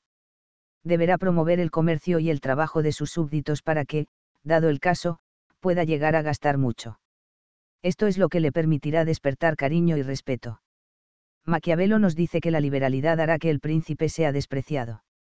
Es una expresión digna de un usurero, pero debería una persona hablar así cuando pretende darle lecciones a los príncipes. Un príncipe, si se me permite ponerlo de esta manera, es similar al firmamento que derrama su rocío y su lluvia todos los días y, a pesar de ello, sigue teniendo siempre una inacabable provisión de agua para fertilizar a la tierra. Capítulo 17, de la clemencia y de la severidad, y si vale más ser amado que temido. Sugerimos leer el capítulo 17 de El Príncipe I. La prenda más valiosa que le ha sido conferida a un príncipe es la vida de sus súbditos. Su oficio le otorga tanto el poder de condenar al criminal como el de indultarlo. Un buen príncipe considerará esta potestad como la carga más pesada de su corona sabe que aquellos a quienes debe juzgar son seres humanos, al igual que él. Sabe que los perjuicios, las injusticias y los insultos pueden ser enmendados en este mundo pero que una sentencia de muerte apresurada provoca un mal irreparable. El príncipe solo debe ser severo para evitar un mal mayor previsible. Tomará esta triste resolución tan solo en algunos casos extremos, de una manera similar a la decisión de una persona que decide dejarse amputar un miembro gangrenoso para salvar a los restantes. Maquiavelo considera que estas cosas tan importantes son solo pequeñeces. Para él, la vida de una persona no cuenta para nada y el interés personal el único Dios que adora está considerado por, sobre todo. Prefiere la crueldad a la clemencia. A quienes acaban de ascender al trono, les aconseja preocuparse menos por la fama de ser crueles que por todo lo demás. Los que colocan a los héroes de Maquiavelo en el trono y los mantienen sobre él son verdugos. Cada vez que necesita de un ejemplo de crueldad, recurre a César Bourya. Además, Maquiavelo cita algunas palabras que Virgilio pone en boca de Daidou, pero la cita está sacada fuera de contexto, porque Virgilio hace hablar a Daidou de la misma manera en que un autor más reciente hace hablar a Jocasta en la tragedia de Edipo. El poeta presta a estos personajes un lenguaje que se condice con su papel. Con ello, en un libro sobre el arte político no son Daidou, ni Jocasta, a quienes hay que citar. Son a los personajes históricos grandes y virtuosos a quienes hay que poner de ejemplo. La doctrina de Maquiavelo recomienda un rigor especialmente severo para con las tropas, a la indulgencia de Escipión le opone la severidad de Aníbal. Y Maquiavelo prefiere los cartagineses antes que los romanos, concluyendo inmediatamente que este rigor es el que promueve el mando y la disciplina convirtiéndose, por consiguiente, en la razón del triunfo de un ejército. Maquiavelo no procede de buena fe en esta ocasión porque elige a Escipión, el más blando de todos los generales en lo que a disciplina militar se refiere, para compararlo con Aníbal a fin de hacer un elogio de la crueldad. Concedo que sin severidad no se puede mantener el orden dentro de un ejército. ¿Cómo podrían ser mantenidos en orden y disciplina los libertinos, los crueles, los amorales, los cobardes, los temerarios, los salvajes casi autómatas, si al menos en parte el miedo al castigo no los mantuviese a raya. Todo lo que quiero exigir de Maquiavelo en esta materia es moderación. Si la tolerancia de un hombre íntegro lo inclina hacia la benevolencia, su sabiduría lo inclinará con no menos fuerza a la severidad. Solo que esta severidad es similar a la de un hábil timonel. Ningún capitán de barco desmantelará el velamen ni cortará las sogas hasta tanto una tempestad no lo obligue a hacerlo. En ciertas ocasiones es necesario ser severo, pero nunca cruel el día en que tengo que librar una batalla prefiero que mis soldados me amen y no que me teman. Pero con esto Maquiavelo aún no está agotado. Llegamos aquí a su argumento más específico, nos dice que un príncipe acertará más con el miedo que con el amor porque las personas tienden a ser ingratas e insinceras. No niego que existen personas ingratas. Tampoco niego que el temor, en ciertos momentos, puede lograr muchas cosas. Pero, a pesar de ello, afirmo de modo categórico que todo rey, cuya exclusiva intención sea la de infundir temor, terminará gobernando tan solo a esclavos miserables. No podrá esperar grandes logros de sus súbditos. Todo lo que se hace por miedo tiene siempre impregnada esa marca de origen. Un príncipe que tenga el don de hacer que sus súbditos lo amen, gobernará en sus corazones y estos mismos súbditos hallarán que es de su propio interés el tenerlo por señor. En la historia existe un buen número de ejemplos de grandes y excelsas acciones llevadas a cabo por amor y lealtad. Más aún, la moda de las ediciones parece haber terminado por completo en nuestros días. No se percibe ningún reino en donde el rey tenga que temer a su pueblo en lo más mínimo. La excepción es Inglaterra, pero hasta el rey de Inglaterra no tiene de qué preocuparse si no provoca la tormenta él mismo. De ello concluyo que un príncipe cruel se encuentra más expuesto a ser traicionado que otro benévolo ya que la crueldad es insoportable y uno se cansa bien pronto de sentir temor. Por el contrario, la bondad es siempre agradable y uno no se harta de amarla. Sería, pues, de desear para la felicidad del mundo que los príncipes practicaran el bien, sin ser demasiado indulgentes, de modo tal que la bondad sea en ellos una virtud y jamás una debilidad. Capítulo 18 de qué modo deben guardar los príncipes la fe prometida. Sugerimos leer el capítulo 18 de El Príncipe primero. Nuestro maestro de tirano se atreve a asegurar que a los príncipes les está permitido engañar al mundo. Esto es lo primero que desearía refutar. Es sabido hasta qué extremo se extiende la curiosidad de todo el mundo. Es un animal que lo ve todo, lo oye todo y que lo difunde todo. Cuando examina la conducta de individuos privados, la cuestión es mera diversión y entretenimiento. Pero cuando juzga el carácter de los príncipes esa curiosidad está muy impulsada por el interés propio. Los príncipes están mucho más expuestos que las demás personas al juicio del mundo. Son como las estrellas hacia las cuales todos los astrónomos dirigen sus telescopios. La corte hace sus observaciones todos los días. Un gesto, una mirada, una expresión del rostro, bastan para delatar al príncipe y hacer surgir toda clase de especulaciones en el pueblo.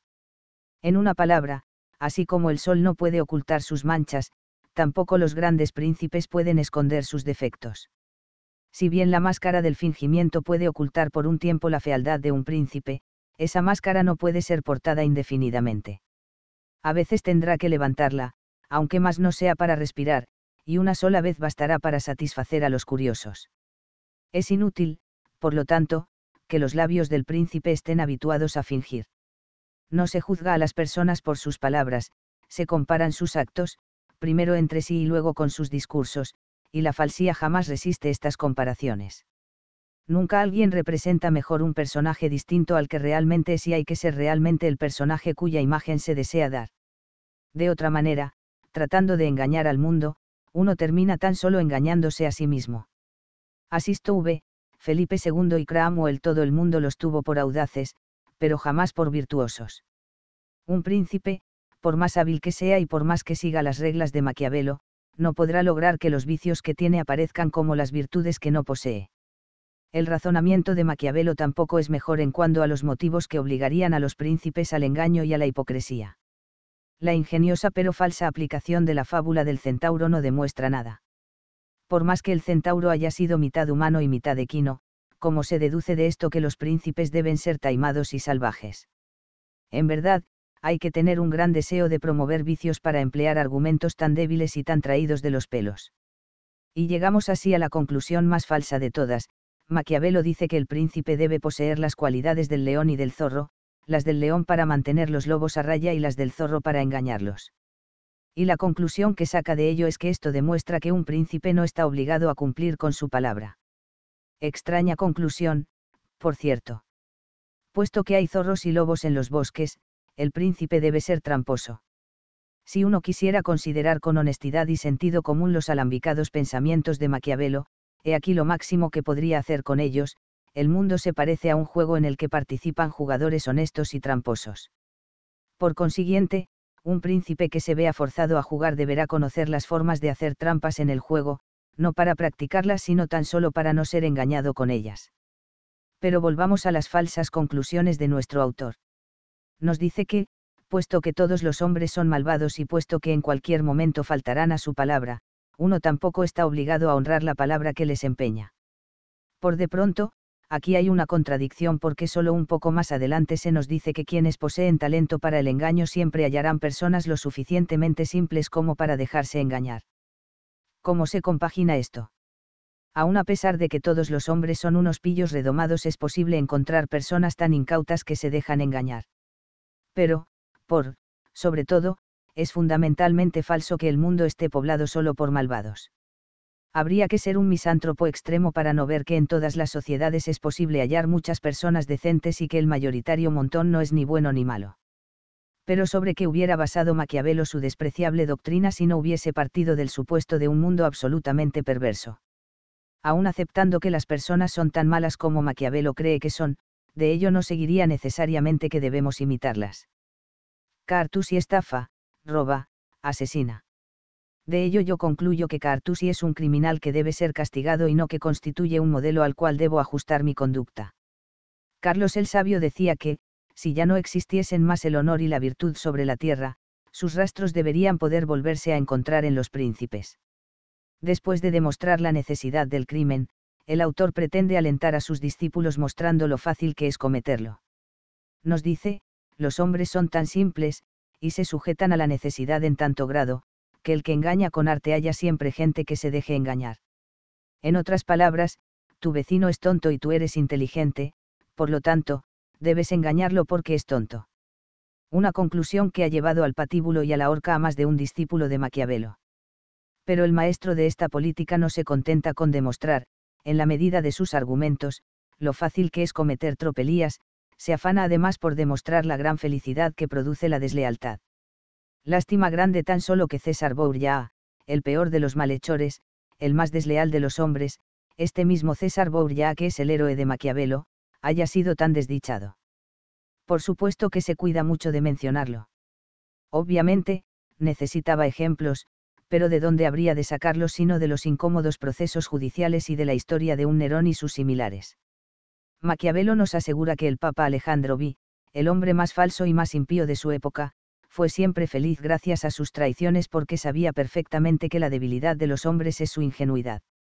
Me atrevo a afirmar que lo que le permitió a este papa tener a veces éxito en sus empresas no fue la credibilidad de las personas sino ciertos acontecimientos y circunstancias. El conflicto entre la codicia francesa y española, la desunión y el odio que se tenían las familias nobles de Italia entre sí, las pasiones y las debilidades de Luis XII, todo ello contribuyó muy convenientemente al éxito de Alejandro V. En términos políticos el engaño hasta es un error si se lo lleva demasiado lejos. Puedo citar la autoridad de un gran estadista don Luis de Aro quien decía que el cardenal Mazarino adolecía de una gran falla política, siempre era falso. En cierta oportunidad, este mismo Mazarino quiso utilizar al mariscal de Feibert para un negociado deshonesto pero el mariscal le contestó, permítame vuestra eminencia que le desaconseje engañar al duque de Saboya, más aún cuando todo el asunto no es más que una bagatela. Todo el mundo sabe que soy un hombre honesto. Le ruego que reserve mi honestidad para una oportunidad en la que el bienestar de Francia misma esté en juego. No estoy haciendo aquí el elogio de la honestidad y el de la virtud. Hablo del propio interés de los príncipes. Lo que afirmo es que una política hecha de traiciones y de engaños es muy mala política se puede ser traidor y estafador una sola vez, después de ello se ha perdido la confianza de todos los demás príncipes. De tanto en tanto se ven príncipes que exponen las razones de su conducta en un manifiesto y luego actúan de un modo completamente contrario a lo que han manifestado. Cosas como esta resultan demasiado evidentes como para no destruir de un solo golpe toda posible confianza, mientras más inmediata siga la contradicción a la promesa, tanto más evidente se vuelve el engaño. La Iglesia Católica, a fin de evitar estas contradicciones, ha establecido en 100 años el periodo que debe transcurrir para que ciertas personas sean incluidas en la categoría de los santos. Este tiempo borrará de la memoria sus defectos y sus debilidades desaparecerán con ellas, los testigos de sus vidas y aquellos que podrían hablar en su contra ya no estarán. No habrá nada ya que impida su glorificación. Reconozco que existen situaciones embarazosamente compulsivas en las cuales un príncipe no tiene más remedio que romper sus tratados y sus alianzas pero debe separarse de sus aliados siendo un hombre honrado. Debe advertirles en el momento adecuado y, especialmente, nunca utilizar medios que no se hallen justificados por la emergencia y por la seguridad de su pueblo. Quisiera terminar este capítulo con una última reflexión. Obsérvese la prodigalidad con la que se multiplican los vicios en las manos de Maquiavelo. Pretende que el rey típico sea un mentiroso innato y que corone su deshonestidad con la hipocresía cree que el pueblo se sentirá más conmovido por la devoción de un príncipe que herido por el maltrato que deberá sufrir por su causa. Es cierto que existen personas que comparten esta opinión.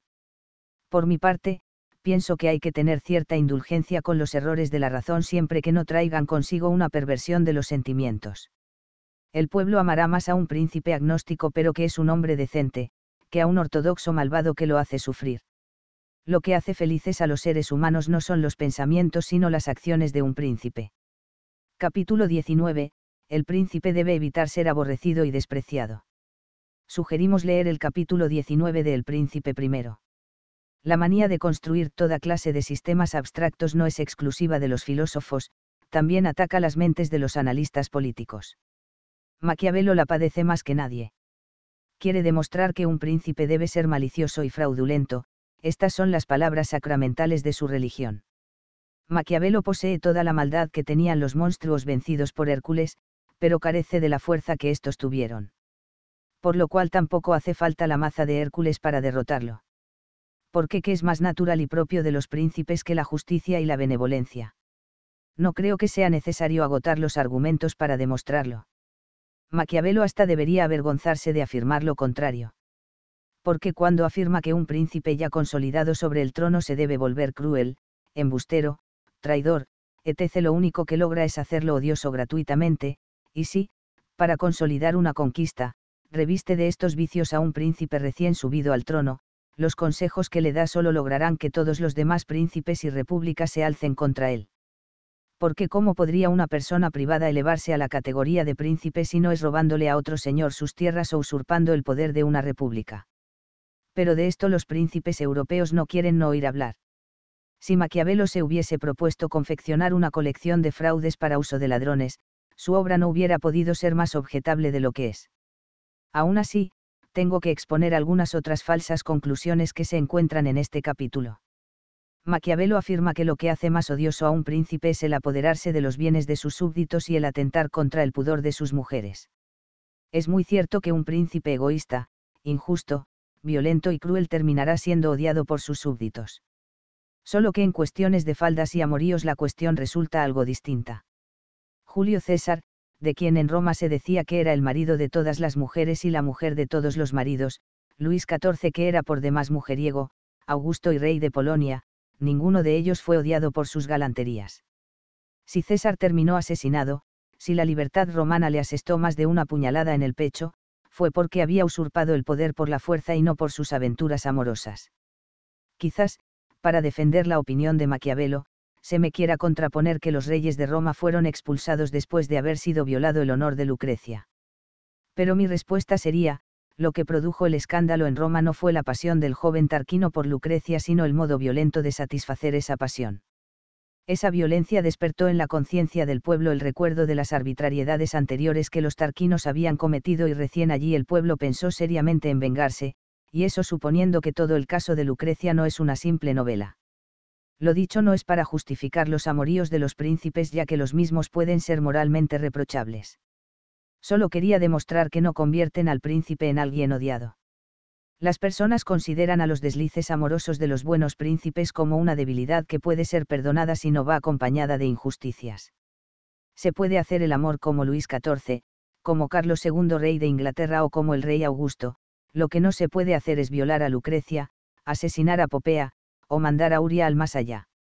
Lo que no hay que hacer es comportarse como Nerón o David. Además, aquí hay una contradicción formal. Por un lado, el autor nos dice que el príncipe debe ganarse el cariño de sus súbditos a fin de evitar las conspiraciones.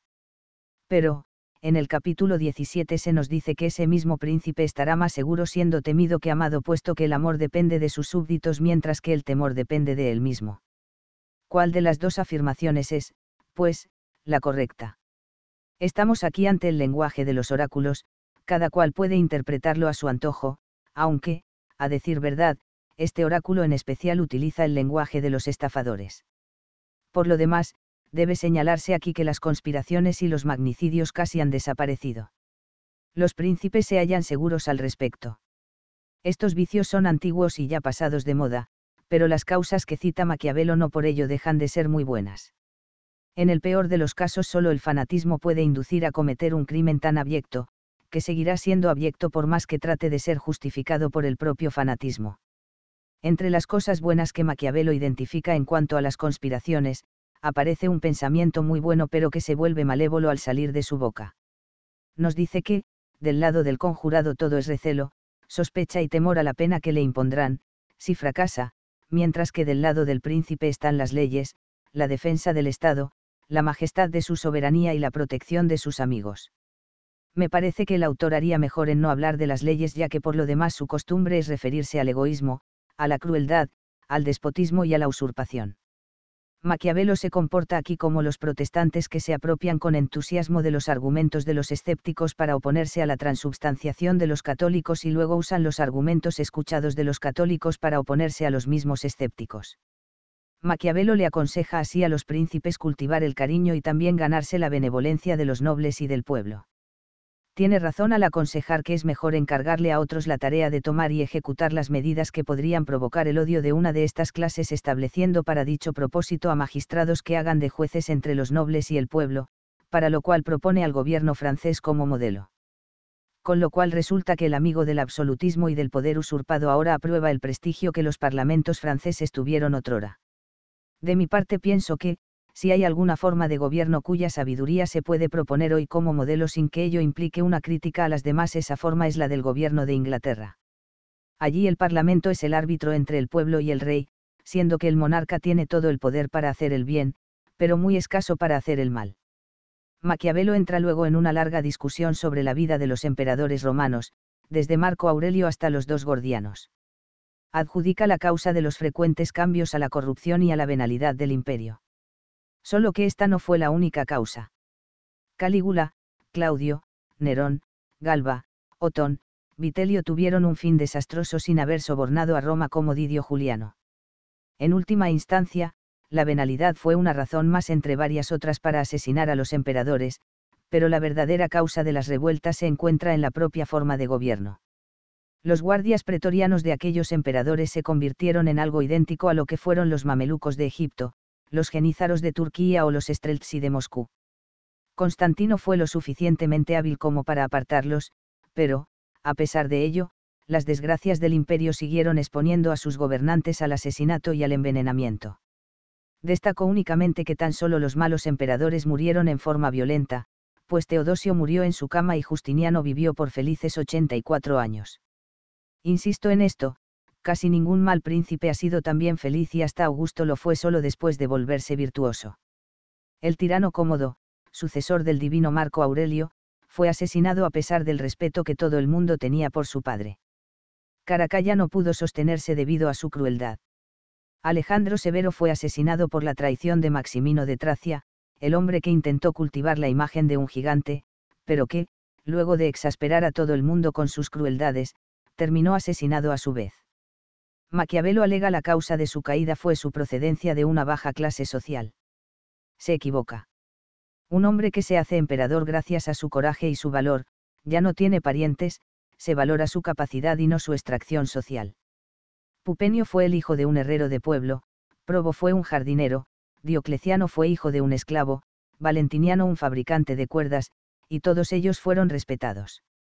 El Sforza que conquistó a Milán fue un campesino, Cramo el que puso Inglaterra a sus pies y que hizo temblar a Europa, fue un burgués común y corriente.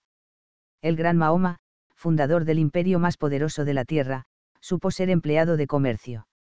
Samon, el primer rey de Eslavonia, fue un comerciante francés. El famoso Piast cuyo nombre tanto se honra en Polonia, cuando fue elegido rey todavía calzaba zuecos de madera y fue respetado durante todos los años de su larga vida. ¿Cuántos generales, ministros y cancilleres han sido de procedencia humilde? Europa está llena de ellos y se siente muy bien así porque estos puestos han sido adjudicados por mérito. Y no digo esto para desmerecer la sangre de los Wittekind, los Carlomagno y los Otones. Tengo, por el contrario, más de un motivo para admirar el linaje de los héroes, sucede tan solo que a sus méritos los valoro aún más. Tampoco hay que olvidar aquí que Maquiavelo se equivoca, y por mucho, al creer que en los tiempos de Severo bastaba contener a los soldados del lado de uno para mantenerse en el poder. La historia de los emperadores lo contradice en esto. Mientras más se protegía a los indomables pretorianos, más aumentaba su poder era tan peligroso adularlos como tratar de contenerlos. De los soldados actuales no hay que temer porque están divididos en pequeños cuerpos que se vigilan mutuamente, porque los reyes nombran ellos mismos a los ocupantes de todos los cargos y porque el rigor de la ley está establecido con mayor fuerza que antes. Los emperadores turcos siguen expuestos a ser degollados solo porque todavía no han aprendido a utilizar estas reglas políticas. Los turcos son esclavos del sultán, y el sultán es el esclavo de los genízaros. En la Europa cristiana, un príncipe debe mantener en un pie de igualdad a todos los estamentos que se encuentran bajo su soberanía, sin establecer diferencias que puedan fomentar celos adversos a sus intereses. El modelo de severo que Maquiavelo le sugiere a quienes desean acceder a un trono, le resulta así tan desventajoso a los príncipes como ventajoso les puede resultar el ejemplo de Marco Aurelio. Pero ¿cómo podría alguien proponer la emulación de Severo, César Borgia y Marco Aurelio en forma simultánea? sería como tratar de aparear la sabiduría y la virtud más pura con el más craso oportunismo. Para finalizar vale la pena insistir en que César Borgia, con toda su refinada crueldad, tuvo un fin muy desgraciado mientras que Marco Aurelio, el filósofo coronado, el príncipe que siempre supo ser bueno y virtuoso, nunca dejó de ser feliz hasta el fin de sus días. Capítulo 20. Si las fortalezas y otras muchas cosas que los príncipes hacen son útiles o perjudiciales sugerimos leer el capítulo 20 de El Príncipe I. El paganismo representó a Jano con dos caras, sugiriendo un conocimiento perfecto tanto de todo el pasado como del futuro. La imagen de este dios, tomado en un sentido alegórico o mítico, se ajusta muy bien a los príncipes. Estos, al igual que Jano, tienen que mirar hacia atrás en la historia de los tiempos pasados y ver las saludables lecciones que brindan en cuanto a su comportamiento y a sus deberes. Pero, también al igual que Jano, tienen que mirar hacia adelante y, mediante su capacidad de penetración racional, extraer de las cosas todas las combinaciones y relaciones posibles para leer en el presente aquello que el futuro puede traer. Maquiavelo le propone al príncipe cinco cuestiones. Se hallan dirigidas tanto a los que han realizado nuevas conquistas como a quienes tienen tan solo la intención política de fortalecer sus posesiones. Veamos qué puede aconsejar el hilo conductor de la razón y la justicia en materia de relacionar el pasado con el futuro. La primera cuestión es, ¿debe, o no, el príncipe desarmar al pueblo que ha conquistado? Por de pronto, en esto hay que tener en cuenta que, desde los tiempos de Maquiavelo, la forma de librar la guerra ha cambiado una enormidad. Hoy los países están defendidos por ejércitos fuertemente disciplinados y más o menos poderosos.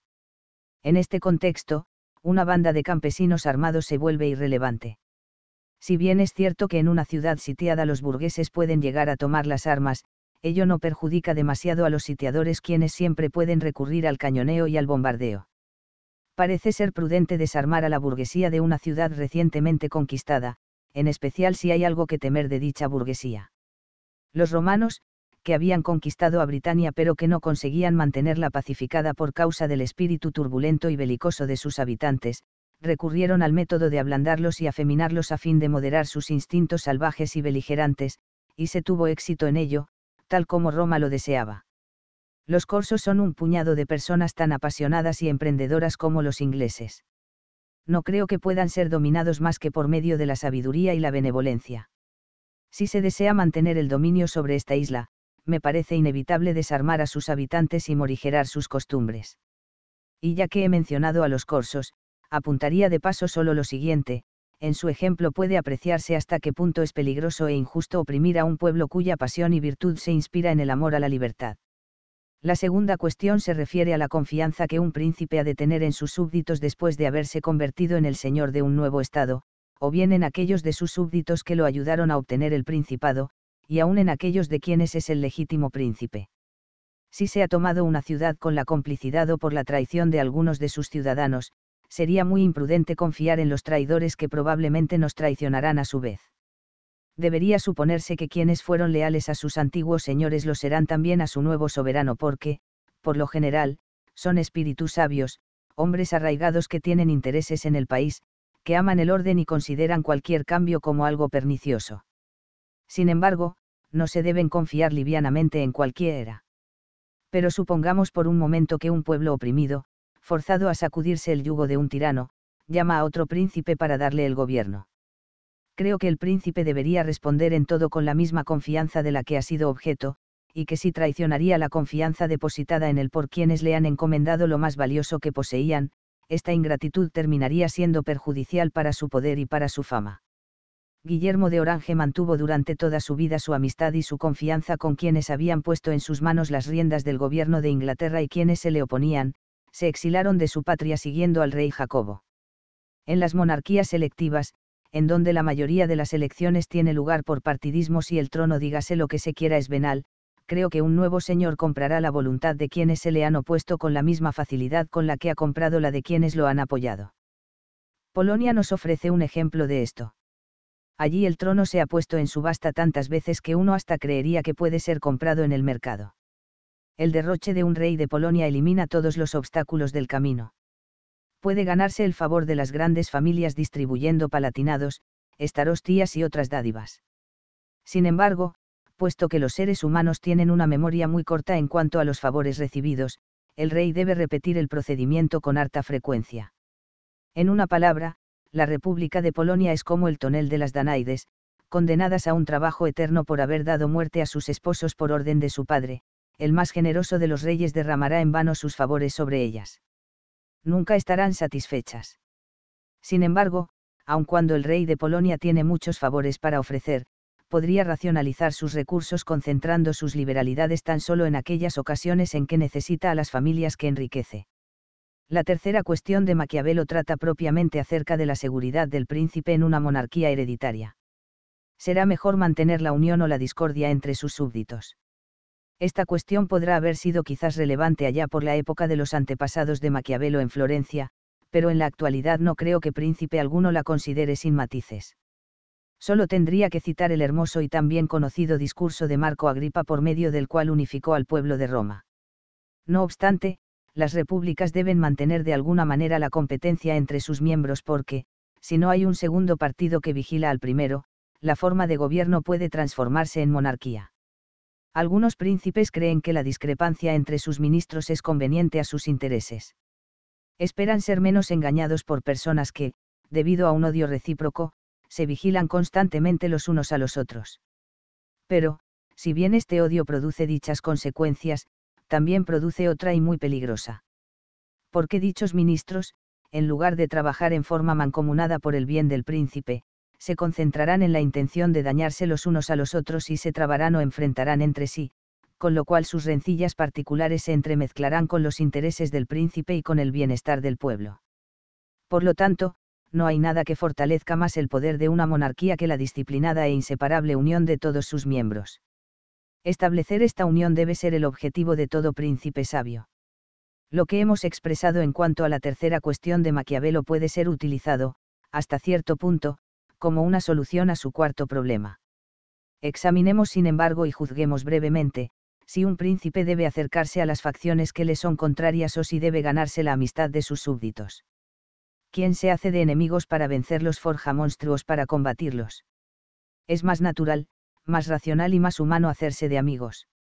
Felices aquellos príncipes que conocen las bondades de la amistad y más felices aún aquellos que se merecen el amor y el respeto de su pueblo.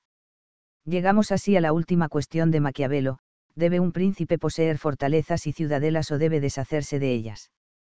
Creo haber expuesto mi parecer en el capítulo décimo en cuanto a que puede ser útil a los príncipes pequeños. Veamos, pues, qué es lo que deben hacer los reyes. Por la época de Maquiavelo el mundo se hallaba en efervescencia general. El espíritu de la sedición y la revuelta reinaban por todas partes y solo se observaban facciones y tiranos. Las frecuentes revueltas hicieron que los príncipes construyeran ciudadelas en los sitios más altos de las ciudades a fin de contener el espíritu ansioso de los habitantes más revoltosos. Después de estos tiempos de barbarie ya no se oye hablar tanto de alzamientos y de revueltas, ya sea porque las personas se han cansado de combatirse, ya sea y principalmente porque los príncipes poseen en sus países un poder menos limitado. El espíritu de rebelión, después de haberse agotado, parece descansar. En consecuencia, ya no se necesitan ciudadelas para asegurarse la lealtad de una ciudad y de un país. Las fortificaciones que sirven para detener al enemigo y para asegurar aún más el orden del Estado constituyen algo completamente diferente. Tanto los ejércitos como las fortificaciones son igual de útiles a los príncipes.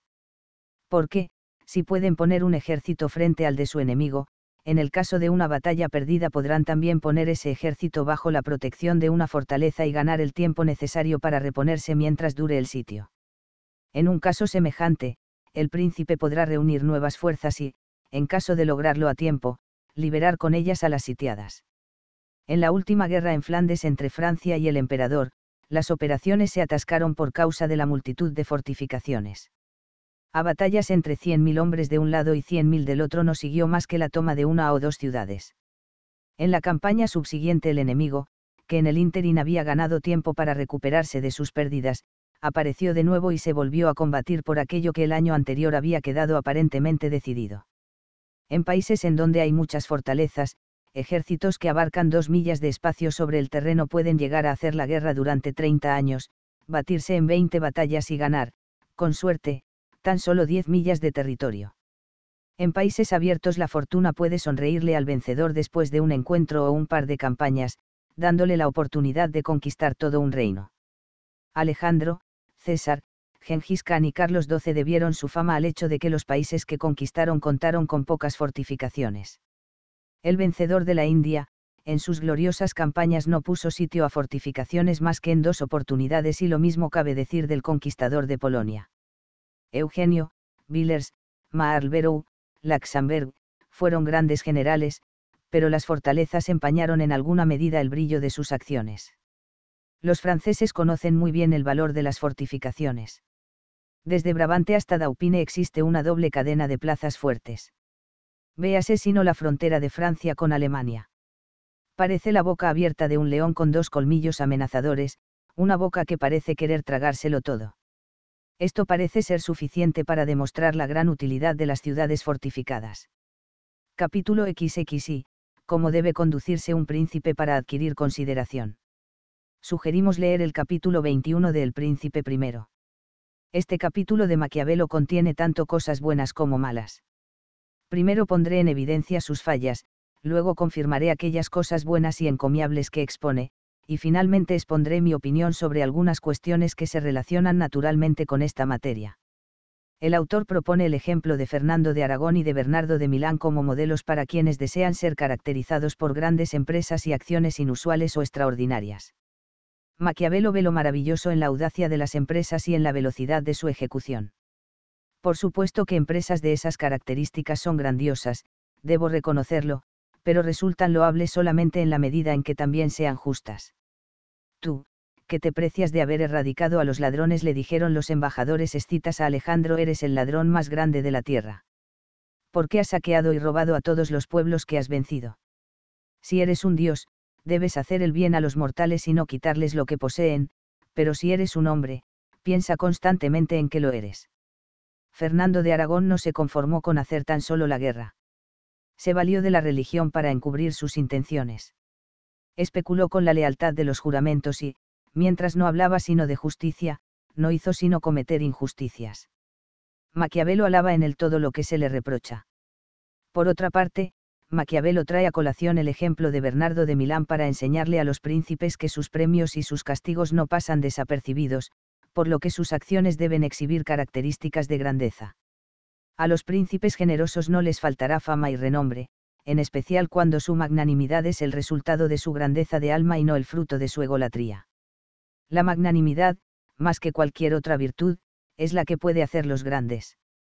Cicerón le dijo a César, en tu suerte no hay nada más grande que tu capacidad para salvar a tantos ciudadanos, y en tu bondad no hay nada más honorable que tu voluntad de salvarlos. Los castigos aplicados por un príncipe deben, pues, ser siempre menores que la afrenta, y los premios que otorga deben ser siempre más grandes que los servicios recibidos. Obsérvese la contradicción también aquí.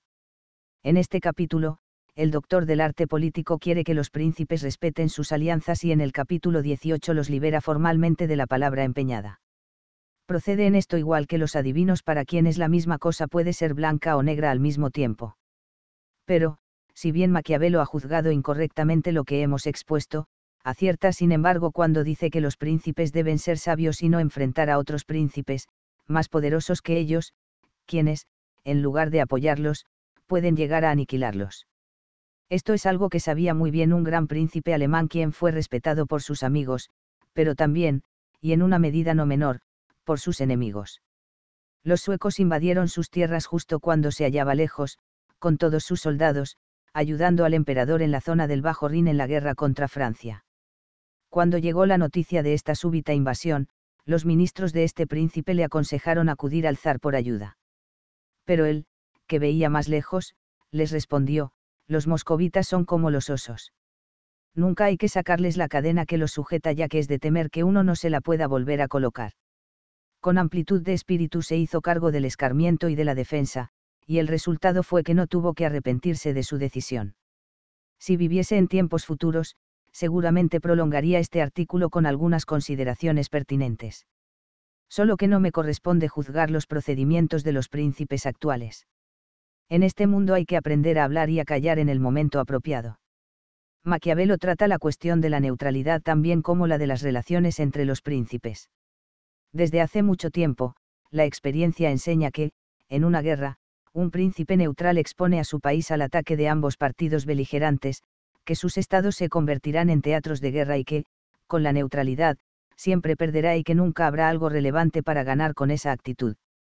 Existen dos formas en que un príncipe puede engrandecerse, la una es la conquista de otras tierras y sucede cuando un príncipe guerrero expande las fronteras de su soberanía por la fuerza de sus armas, la otra es un buen gobierno y sucede cuando un príncipe dedicado incorpora a su país todas las artes y ciencias que lo hacen más poderoso y mejor organizado todo el libro de Maquiavelo está repleto de consideraciones referidas a tan solo la primera de las formas mencionadas de engrandecerse.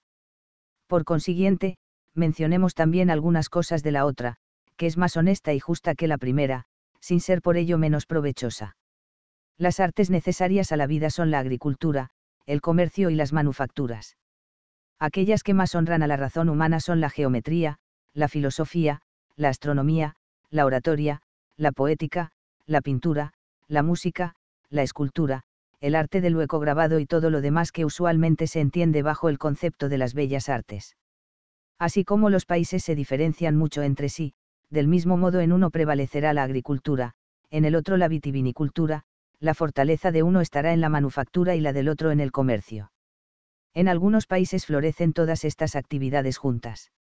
Un príncipe que desee elegir esta forma manejable y agradable de hacerse más poderoso deberá principalmente conocer a su país para saber cuál de estas artes se desarrollará mejor en él y, por consiguiente, a cuáles de ellas le deberá dedicar mayor esfuerzo.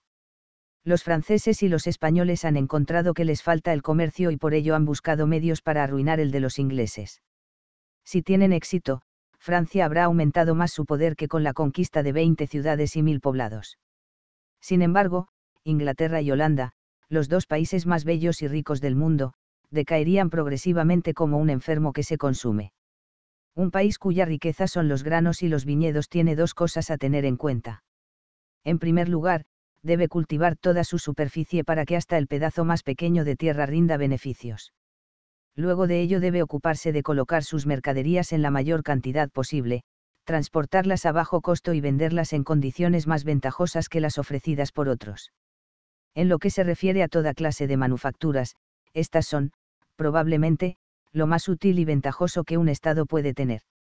Porque con ellas le puede ofrecer a los habitantes todo lo que exigen las necesidades y aún lo superfluo, mientras que los vecinos tendrán la oportunidad de hacerse de los frutos de esta laboriosidad mediante el dinero.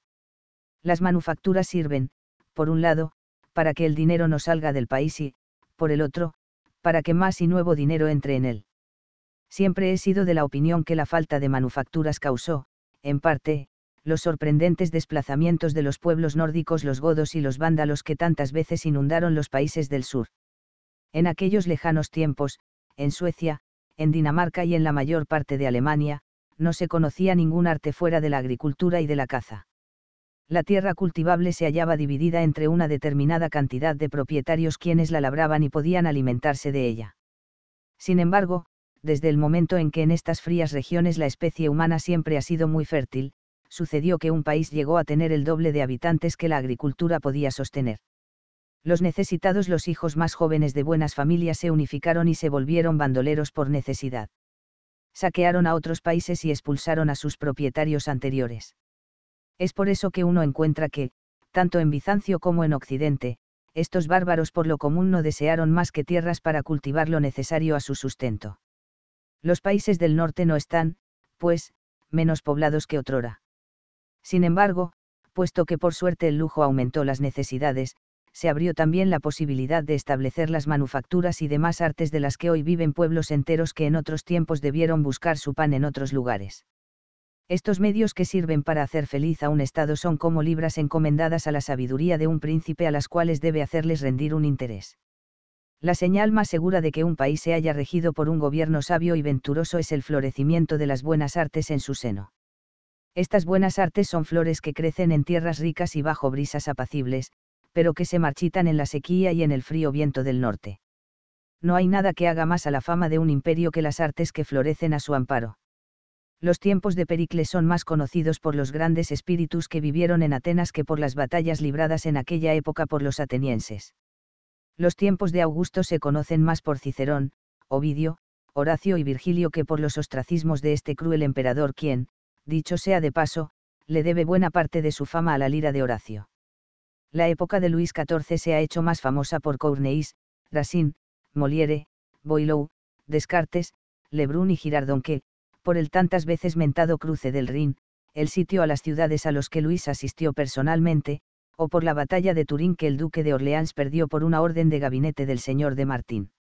Los reyes honran a la humanidad cuando promueven y premian a quienes más honor demuestran tener, cuando alientan a aquellos espíritus superiores que se dedican a perfeccionar nuestros conocimientos y a ampliar el imperio de la verdad. Felices aquellos príncipes que cultivan por sí mismos estas ciencias. Que pueden hacer suyas las palabras de Cicerón, el cónsul romano salvador de su patria y padre de la elocuencia, las artes libres nutren a la juventud y solazan a la ancianidad, son un ornamento en la felicidad y un refugio y un consuelo en la desgracia, nos deleitan en la patria y no nos obstaculizan en el extranjero, pernoctan entre nosotros, viajan con nosotros y hacen a la felicidad de nuestras vidas en todo tiempo y lugar. Lorenzo de Medici, el hombre más grande de su nación, fue el pacificador de Italia y restableció las ciencias. Su espíritu justo se ganó la confianza general de todos los demás príncipes. Marco Aurelio, uno de los más grandes emperadores romanos, no fue menos héroe guerrero exitoso que filósofo y unió la práctica de la doctrina moral más estricta con las enseñanzas que impartió de la misma. Termino con las palabras, un rey guiado por la justicia tiene al mundo por templo y todas las personas de bien son sus sacerdotes. Capítulo XXI, de los ministros o secretarios de los príncipes. Sugerimos leer el capítulo 22 de El Príncipe primero. Existen dos especies de príncipes en este mundo. Los primeros ven a través de sus propios ojos y gobiernan a sus países por sí mismos, los segundos se basan sobre la lealtad de sus ministros y se dejan gobernar por quienes, por medio de su intelecto, han conseguido cierto poderío. Los príncipes de la primera especie constituyen el alma de sus países. El peso del gobierno descansa exclusivamente sobre ellos como el mundo sobre los hombros de Atlas. Administran tanto las cuestiones domésticas como las externas. Son, al mismo tiempo, jueces supremos, generales y economistas. Siguiendo el ejemplo de Dios, quien utiliza para la ejecución de su voluntad espíritus más perfectos que el común de los mortales, estos príncipes se rodean de seres penetrantes y diligentes que ejecutan la intención del príncipe y concretan en detalle lo que el príncipe mismo ha diseñado a grandes rasgos. Los ministros de estos príncipes son, en realidad, herramientas en las manos de un sabio y hábil maestro. Los soberanos de la segunda especie, a quienes la providencia no ha dotado de esta capacidad, pueden suplir esa falencia mediante una designación afortunada. Sin embargo, estos príncipes poseen una falta de capacidad cognitiva y una insensibilidad natural, por lo que se hallan sumergidos en el profundo sueño de la indiferencia. Cuando el Estado, que se halla a punto de desfallecer por la debilidad del soberano, ha de ser sostenido por la sabiduría y la vitalidad de un ministro, el príncipe se convierte en algo semejante a una sombra, una sombra necesaria, sin embargo, porque representa al Estado. En este caso, no se puede más que desear que la designación del ministro por parte del príncipe sea afortunada. Pero, que un gran señor capte por completo la personalidad y las intenciones de quienes desea utilizar a su servicio es algo que no resulta tan fácil como generalmente se supone. A los sujetos privados les resulta tan fácil ocultar sus propósitos ante el soberano como difícil le resulta al príncipe ocultar su intimidad ante los ojos del mundo. Un rey sano, dotado de una masa corporal fuerte y activa, que puede soportar la intensa labor de gabinete, falta a su deber cuando se somete a un primer ministro. Por el contrario, soy de la opinión que un príncipe, a quien la naturaleza ha negado estas aptitudes, comete un agravio contra sí mismo y contra el pueblo si no utiliza toda su capacidad para elegir a un hombre que tome sobre sí la carga que a él como soberano le resulta demasiado pesada. La naturaleza no le ha dado a todos los hombres por igual la habilidad para realizar grandes obras. Pero, aún así, toda persona, con solo poner su voluntad en ello, tiene suficiente discernimiento como para descubrir esta habilidad en otras personas y utilizarlas para sus propósitos. La ciencia más generalizada entre los seres humanos es la que permite establecer con bastante rapidez las habilidades de los demás. Véase con qué facilidad los malos artistas juzgan a los más grandes maestros. Aún los soldados de la última fila conocen muy bien las virtudes y los defectos de sus oficiales los más grandes ministros están constantemente sometidos al juicio de sus subordinados. Por consiguiente, un rey tendría que ser muy ciego para no distinguir las capacidades de quienes necesita tener a su servicio. No obstante, hay que admitir que no es tan fácil percibir de un solo golpe hasta dónde llega la integridad de una persona. Un ignorante no puede ocultar su ignorancia, pero un hipócrita capacitado puede embaucar a un rey durante mucho tiempo, sobre todo cuando ese engaño le produce ingentes beneficios y le permite mantener casi aislado al rey.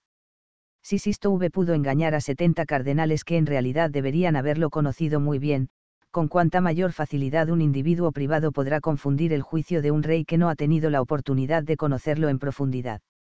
Un príncipe inteligente podrá juzgar sin mayor dificultad la inteligencia y la capacidad de sus subordinados, lo que le resultará casi imposible es estimar con certeza la abnegación y la lealtad de estas personas.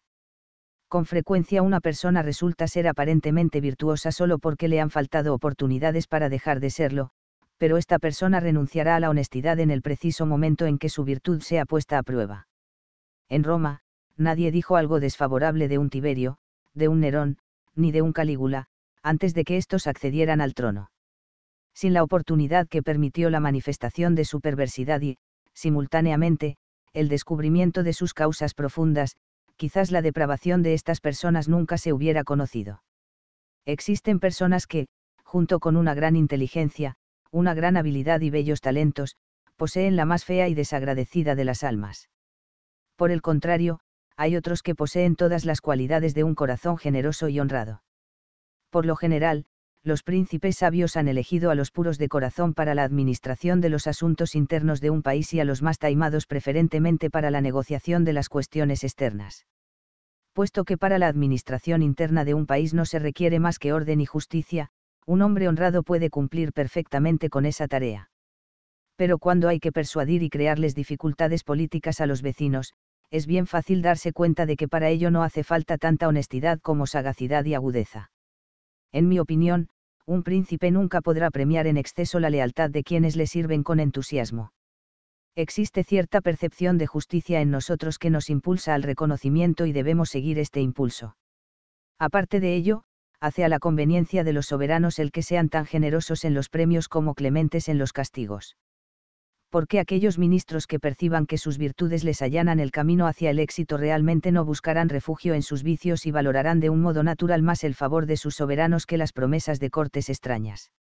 Los caminos de la justicia y de la sabiduría mundana coinciden, pues, perfectamente en esta materia. Y resulta tan irracional como arbitrario poner peligrosamente a prueba la fidelidad de los ministros retaceando premios y siendo cerradamente arrogante. Algunos príncipes caen en otro error, igualmente peligroso, cambian a sus ministros con infinita ligereza y castigan la más mínima irregularidad ejecutiva con demasiado rigor. Ministros que trabajan a la vista inmediata del príncipe, después de haber estado cierto tiempo en el cargo ya no podrán ocultarle sus defectos.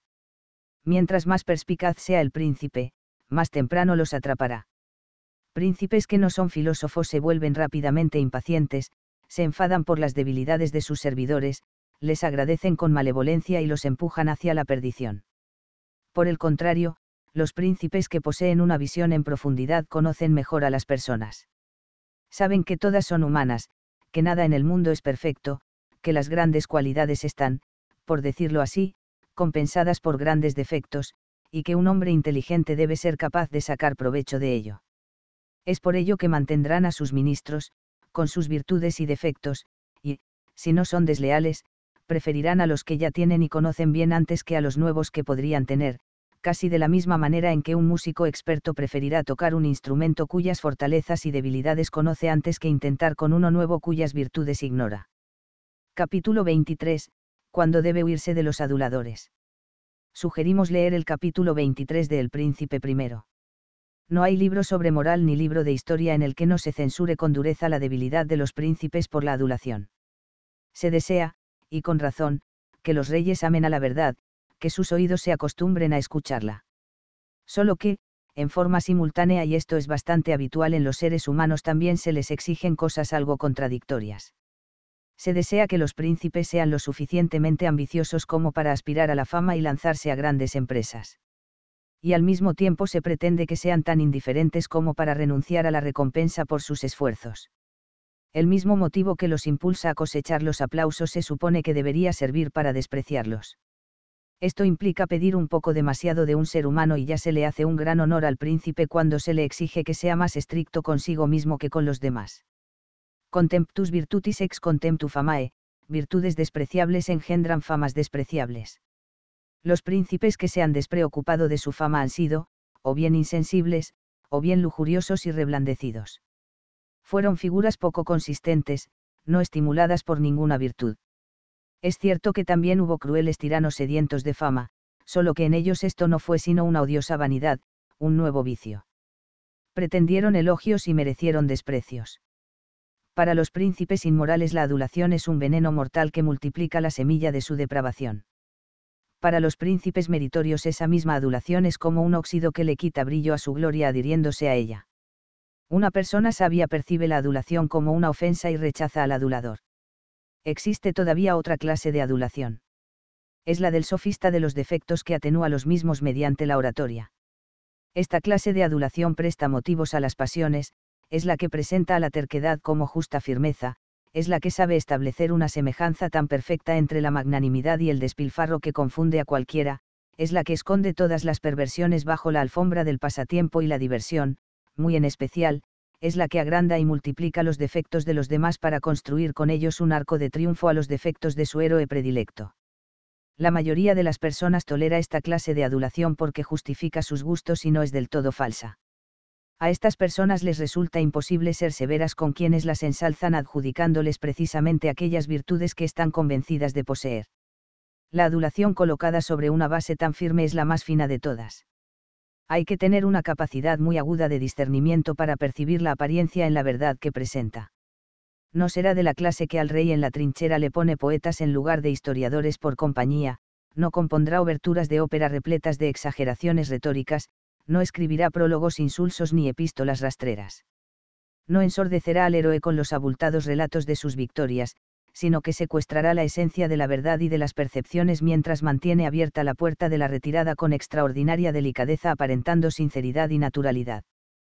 ¿Cómo podrá un gran hombre, cómo podrá un héroe, cómo podría un príncipe inteligente enfadarse por tener que oír una verdad que, en apariencia, no proviene sino del exceso de entusiasmo de un amigo?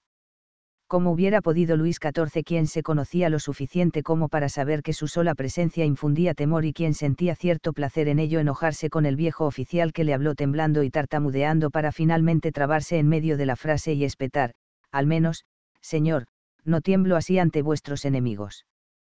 Príncipes que fueron humanos antes de convertirse en reyes recuerdan lo que han sido y no se acostumbran tan fácilmente al alimento servido por los adulones. Sin embargo, aquellos que han gobernado durante toda su vida probablemente fueron, al igual que los dioses, nutridos con incienso desde su juventud y morirían por la falta de este alimento si se les acabaran los halagos. Por todo ello, en mi opinión sería mucho más justo apiadarse de los reyes en lugar de condenarlos. Los adulones y más aún los difamadores se merecen la condena y el aborrecimiento del mundo, al igual que quienes le ocultan la verdad al príncipe demostrando con ello ser sus enemigos. Tan solo hay que hacer una diferencia entre la adulación y el elogio. En Trajano, el panegírico de Plinio despertó un entusiasmo por la virtud, en Tiberio solo se fortalecieron los defectos merced a las adulonerías de los senadores. Capítulo Xib, porque muchos príncipes de Italia perdieron sus estados. Sugerimos leer el capítulo 24 de El Príncipe I. La fábula de Cadmo, que sembró los dientes del dragón que había acabado de matar, con lo cual creció de allí un pueblo guerrero tan violento que terminó exterminándose en guerras intestinas, es una buena metáfora de lo que fueron los príncipes italianos por la época de Maquiavelo. Las perfidias y las traiciones que los unos cometieron contra los otros terminaron significando la ruina de todos. Léase tan solo la historia italiana desde fines del siglo XIV hasta principios del XV. ¿Qué se encontrará allí sino crueldades, revueltas, violencias, alianzas para destruirse mutuamente, conquistas ilegítimas, asesinatos alevosos, en una palabra, una espantosa colección de lacras cuya sola imagen produce escalofríos. De hecho, se podría subvertir al mundo entero si, siguiendo el ejemplo de Maquiavelo, uno se decidiese a tirar a la basura a la justicia y a la sensibilidad. El aluvión de depravaciones convertiría en muy poco tiempo a toda la tierra en un desierto. La injusticia y la barbarie de los príncipes italianos fue la causa de que perdiesen sus tierras, del mismo modo en que, inexorablemente, los falsos postulados de Maquiavelo llevarán a la ruina a quienes sean tan necios como para seguirlos. No oculto nada. La abyecta cobardía de estos príncipes italianos, junto con su malignidad, pudo muy bien haber contribuido a fomentar su decadencia. Es indiscutible que la debilidad de los reyes de Nápoles fue la causa de su caída. Por lo demás, en la teoría del Estado se me podrá decir lo que se quiera, me pueden exponer conclusiones, erigir edificios doctrinarios, mostrar ejemplos, utilizar todas las disquisiciones. Al final, todos se verán forzados a regresar, aún en contra de su voluntad, a la equidad y a la justicia. Le preguntaría a Maquiavelo qué quiso decir cuando habla de, siendo un príncipe nuevo, es decir, uno que ha accedido al poder por la violencia y contrariando el derecho, mucho más cauto en sus acciones que otro hereditario, si las juzgan grandes y magnánimas sus súbditos, se atrae mejor el afecto de estos que un soberano de sangre inmemorial esclarecida, porque se ganan los hombres mucho menos con las cosas pasadas que con las presentes. Cuando hallan su provecho en estas, a ellas se reducen, sin buscar nada en otra parte. Insinúa acaso Maquiavelo que, entre dos hombres igual de sabios y valientes, toda una nación elegiría al opresor violento y usurpador prefiriéndolo al príncipe legítimo. O nos está comparando a un príncipe sin virtudes con un audaz ladrón al cual no le faltan aptitudes. Lo primero es imposible que ocurra desde el momento en que se contradice con los más generalizados conceptos del sentido común. El amor de un pueblo por una persona que se ha convertido en su gobernante por medios violentos y que no tiene otros méritos que lo hagan preferible al príncipe legítimo, un amor así sería un efecto sin una causa. Pero lo segundo tampoco es admisible porque el hecho violento por medio del cual un príncipe conquista el poder es y seguirá siendo a pesar de todo una injusticia aun cuando, por lo demás, se le adjudiquen a este príncipe toda clase de buenas cualidades. De un hombre que hace su aparición exhibiendo maldades que puede esperarse sino un gobierno violento y tiránico. Un hombre engañado por su mujer el mismo día de su casamiento depositaría en el futuro grandes esperanzas en las virtudes de su esposa. Maquiavelo mismo dictamina en este capítulo, sin el amor del pueblo, sin la benevolencia de los notables, sin un ejército permanente bien disciplinado, al príncipe le resultará imposible mantenerse en el trono. Al parecer, la verdad lo obliga a hacer esta concesión, casi a la manera de los ángeles caídos de quienes los teólogos afirman que conocen a Dios, pero, no obstante, le ofenden.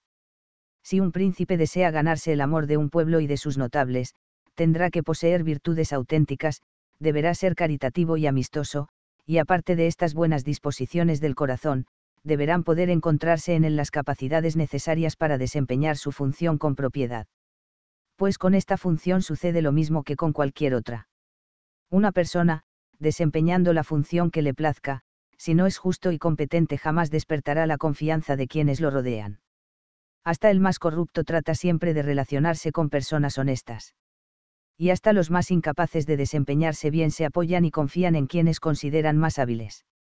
El más intrascendente intendente, el concejal más humilde de una ciudad debe ser decente y trabajador si quiere progresar y solo el rey dispondría de un puesto al cual tendría derecho precisamente por sus defectos. Quien quiere conquistar corazones tiene que estar constituido como lo he señalado y no como enseña Maquiavelo en su obra, injusto, cruel, ambicioso y ocupado exclusivamente en engrandecerse. Ese es el aspecto de la doctrina que venimos tratando una vez que se le ha quitado el velo. Así es el hombre que en su tiempo fue tenido por grande, al que muchos ministros han considerado peligroso, pero al cual han seguido a pesar de todo, así es aquel cuyos principios repugnantes le fueron inculcados a los príncipes, aquel a quien todavía nadie ha respondido de modo formal y cuyas huellas siguen muchos estadistas pretendiendo que nadie los incrimine por ello. Dichoso sería quien pudiese estirpar del mundo a todos los maquiavelismos he demostrado las inconsistencias de su doctrina, los gobernantes del mundo deberían avergonzarse de sus ejemplos. Tienen la obligación de liberar al mundo del falso concepto que se tiene del arte de gobernar, un arte que debería ser una cátedra de sabiduría y que por lo general es concebido como una guía para estafadores. Tienen la obligación de limpiar las alianzas desterrando artilugios y deslealtades, recuperando esa honradez y esa integridad que, la verdad sea dicha, se encuentra en pocos príncipes y que necesita ser fortalecida. Tienen la obligación de demostrar que ambicionan tan poco las provincias de sus vecinos como mucho les importa el mantener las propias. Un príncipe que ambiciona poseerlo todo es como un hombre que atosiga su estómago con cualquier cantidad de alimentos sin tener en cuenta que no podrá digerirlos. En cambio, un príncipe que se limita a gobernar de un modo admirable se parece al hombre que come con moderación y cuyo estómago digiere en forma correcta. Capítulo XXV, del dominio que ejerce la fortuna en las cosas humanas, y cómo resistirla cuando es adversa. Sugerimos leer el capítulo 25 de El Príncipe I. La cuestión de la libertad del ser humano es uno de esos problemas que ha exigido al máximo la razón de los sabios de todo el mundo y que ya se ha ganado algún anatema de parte de los teólogos. Los defensores de la libertad argumentan que, si el hombre no dispusiese de libre albedrío, sería Dios el que actúa a través de él y, por lo tanto, sería Dios mismo el que cometería todos los homicidios, todos los robos y todas las aberraciones, algo que estaría en abierta contradicción con su sacralidad. Más allá de ello, si el Ser Supremo fuese el Padre de todos los vicios y la causa de todas las injusticias, ya no se podría castigar a los culpables y ya no quedarían ni vicios ni virtudes sobre este mundo. Desde el momento en que esta doctrina aberrante es impensable sin advertir las contradicciones que contiene, no queda más camino a elegir que el de aceptar el libre albedrío. Los amigos de la necesidad ineludible, por el contrario, nos dicen que si Dios, después de crear el mundo, no hubiera sabido qué sucedería en él habría procedido como un maestro constructor ciego, o como alguien que trabaja a oscuras. Nos señalan que un relojero conoce el efecto producido hasta por el más pequeño de los engranajes que hay en un reloj puesto que conoce el movimiento para el cual lo ha diseñado y para cuyo fin lo ha construido. Y Dios, este ser infinitamente sabio habría de ser tan solo un curioso e impotente espectador de las acciones de los hombres. De esta forma no sería ya la providencia sino la terquedad de los hombres lo que gobernaría el mundo. Y, puesto que forzosamente se ha de elegir entre el creador y la criatura, ¿cuál de los dos es, pues, la máquina? Es más razonable suponer que lo es aquel ser en quien mora la debilidad y no aquel en quien mora el poder. Así pues, la razón y las pasiones son como invisibles cadenas por las cuales la mano de la providencia conduce al género humano para que colabore en aquellos acontecimientos que la eterna sabiduría ha decidido que deben ocurrir para que cada cosa cumpla el fin para el cual fue creado. De este modo, queriendo evitar un remolino uno se acerca al otro, y los filósofos se empujan mutuamente al abismo de las contradicciones mientras los teólogos combaten a oscuras anatematizándose por amor a lo más sagrado. Estos partidos se combaten casi de la misma forma en que antaño los cartagineses combatieron a los romanos. Cuando los cartagineses temían ver aparecer a las legiones romanas en África, mandaban la antorcha de la guerra a Italia, y cuando los romanos querían librarse del temido Aníbal, enviaban a Escipión con sus legiones contra Cartago. Los sabios mundialmente famosos, los teólogos y la mayoría de los héroes del silogismo son como los franceses. Son muy valientes en el ataque, pero están perdidos cuando tienen que hacer la guerra para defenderse. Por eso, un pensador perspicaz dijo alguna vez que Dios sería el padre de todas las sectas, porque le habría dado a todas las mismas armas, además de un lado bueno y un lado malo. Maquiavelo transportó la cuestión de la libertad y de la predestinación de la metafísica a la política. Sucede sin embargo que en este territorio la cuestión resulta tan fuera de lugar que no encuentra con qué alimentarse porque en política en lugar de preguntarnos si tenemos o no tenemos libre albedrío, si la suerte o la casualidad pueden, o no, producir algo lo que tenemos que tratar de hacer es de mejorar nuestro discernimiento y nuestro ingenio. Suerte y casualidad son dos palabras sin sentido cuya aparición, con toda probabilidad, le debemos a la profunda ignorancia en la que se encontraba el mundo por la época en que se le daban nombres indeterminados a los efectos cuya causa se desconocía. Lo que el populacho llama la suerte de César no es más que el conjunto de todos aquellos acontecimientos y circunstancias que fomentaron las intenciones del ambicioso Julio César. Y lo que debe entenderse bajo la mala suerte de Catón es el conjunto de hechos adversos y cambios desagradables inopinados que debió enfrentar, en un entorno en donde los efectos siguieron a las causas con tanta rapidez que la capacidad de Catón resultó insuficiente tanto para preverlos como para evitarlos no hay mejor explicación para lo que se entiende por casualidad que el juego de dados.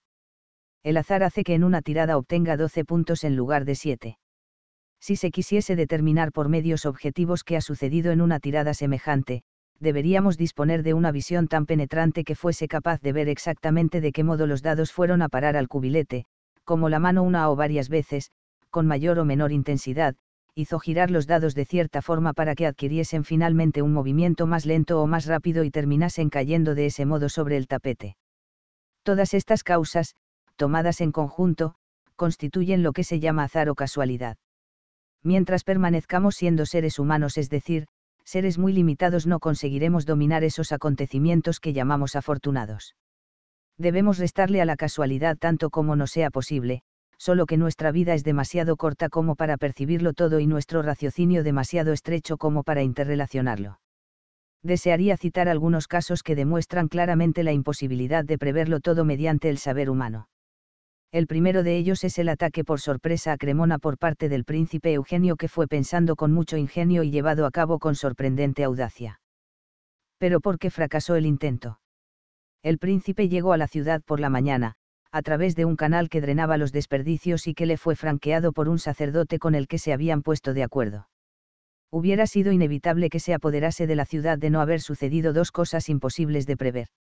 En primer lugar, el regimiento suizo, que debía realizar ejercicios militares esa misma mañana, obtuvo armas antes de lo previsible y pudo detenerlo hasta que el resto de la dotación consiguió reunirse. Pero, además de ello, el guía que el príncipe de Baudemont envió a la puerta de la ciudad para tomarla, se equivocó de camino y, con ello, tanto el guía como su gente llegaron demasiado tarde. El otro caso que desearía citar como ejemplo es el de la paz particular que Inglaterra acordó con Francia hacia el fin de la Guerra de Sucesión Española. Ni los ministros del emperador Joseph, ni los más grandes sabios del mundo, ni los estadistas más hábiles hubieran podido adivinar que un par de guantes cambiaría el destino de Europa. Y sin embargo eso fue lo que sucedió, literalmente. La duquesa de Marlborough era por aquella época la ama de llaves de la reina Ana en Londres mientras su marido se dedicaba a hacer una doble cosecha de laureles y riquezas con las campañas de Brabante. La duquesa, por sus buenas relaciones con la reina, constituía un gran apoyo para el partido del héroe y el héroe, por sus victorias en el campo de batalla, sustentaba el favor de la duquesa en la corte. Mientras ella gozó del favor de la reina, los Touris que estaban en su contra y que deseaban la paz nada pudieron hacer pero la duquesa perdió este favor por un hecho minúsculo. Tanto la reina como la duquesa se habían mandado confeccionarse en dos pares de guantes. Pero la duquesa era ansiosa, y el ansia de poseerlos le hizo exigir de la persona que los fabricaba que entregara los suyos antes que los de la reina. La reina. Ana, sin embargo, también ansiaba sus guantes. Así las cosas, una dama de la corte Lady Massam, enemiga de la duquesa le informó a Ana lo que estaba ocurriendo y lo hizo de una forma tan malévola que, a partir de ese momento, la reina consideró a la Marlborough como una cortesana cuya arrogancia ya no estaba dispuesta a soportar. La confeccionadora de los guantes terminó de provocar la ira real ya que le contó a la reina, con gran amargura, toda la historia de los guantes. Este hecho minúsculo fue la levadura que puso en marcha a todos los espíritus y sensibilizó a todo lo que puede acompañar una caída en desgracia los Touris y el mariscal de Tallar se aprovecharon del caso que le era favorable a su partido. Poco después, la duquesa de Marlborough terminó de caer en desgracia y con ella cayó también el partido de los Whigs y de los aliados del emperador. Ese es el juego de las cosas más serias que existen sobre la tierra, la providencia se ríe de toda la sabiduría y de toda la grandeza de los hombres. Causas minúsculas y a veces hasta ridículas cambian con frecuencia el destino de toda una monarquía. De este modo, una intrascendente trifulca entre mujeres, que forzó a los aliados a firmar una paz a regañadientes, salvó a Luis XIV de una situación de la que probablemente no lo hubiera sacado ni su ingenio, ni sus ejércitos, ni todo su poder.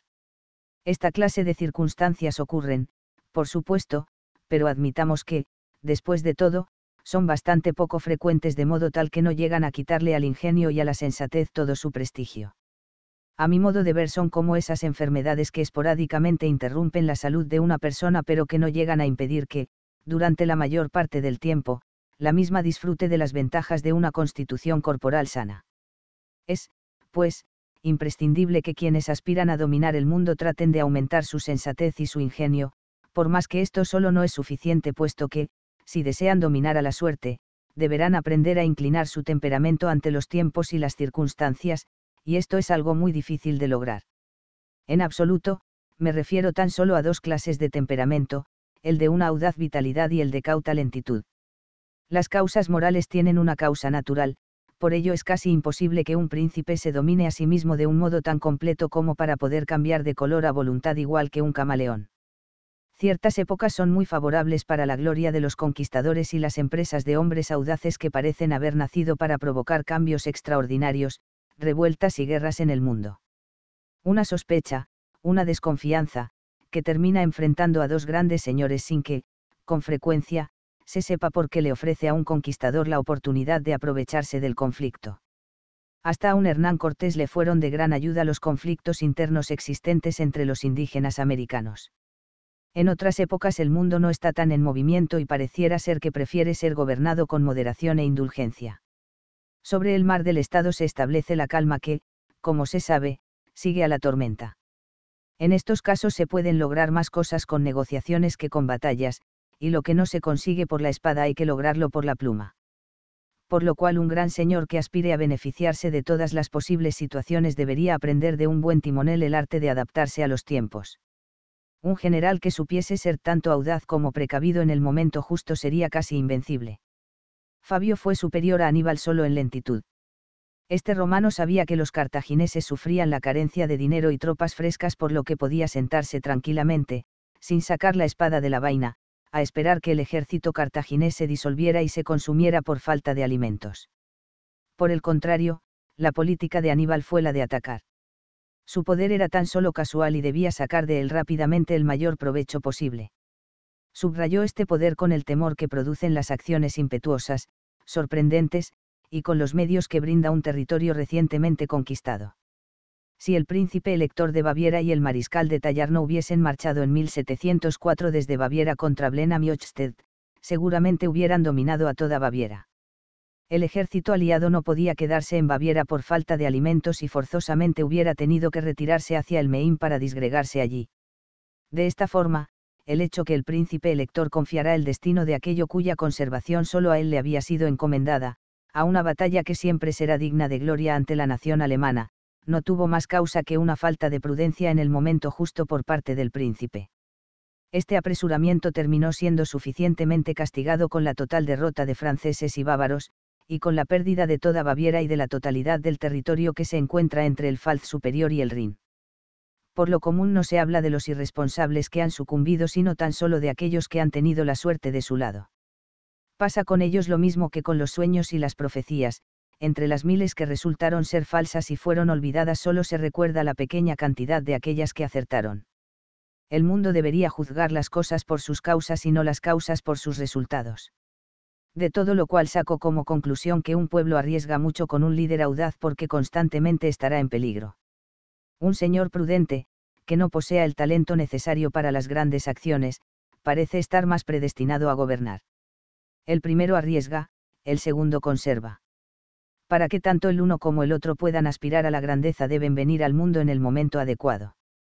De otra forma, sus talentos les serán más perjudiciales que útiles.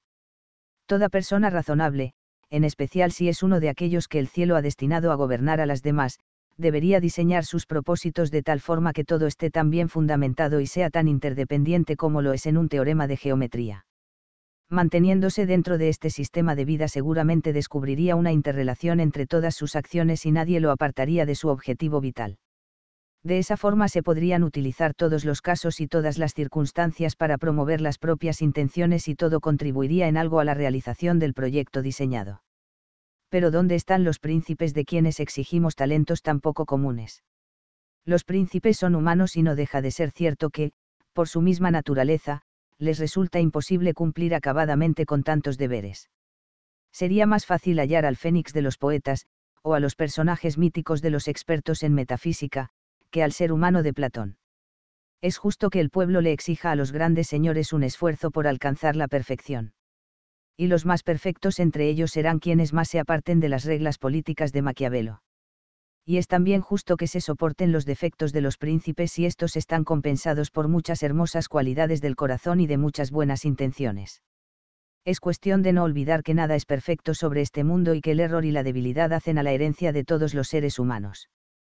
El país más feliz es aquel en donde la mutua tolerancia entre el soberano y la sociedad cubre de gentileza y cordialidad las relaciones, sin lo cual la vida se hace una pesada carga y el mundo, que podría ser el escenario de la felicidad, se convierte en un valle de lágrimas. Capítulo XXVI, de las distintas clases de negociaciones y de causas de las guerras que deben ser llamadas justas.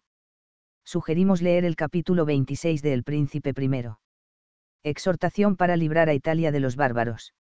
En esta obra hemos considerado las falsedades de los argumentos mediante los cuales Maquiavelo trata de engañarnos presentándonos a malhechores y corruptos como si fuesen personas virtuosas me he esforzado en arrancarle a la corrupción el velo de la virtud en el cual Maquiavelo lo ha envuelto para que el mundo no caiga en el error que la mayoría generalmente comete al juzgar la política.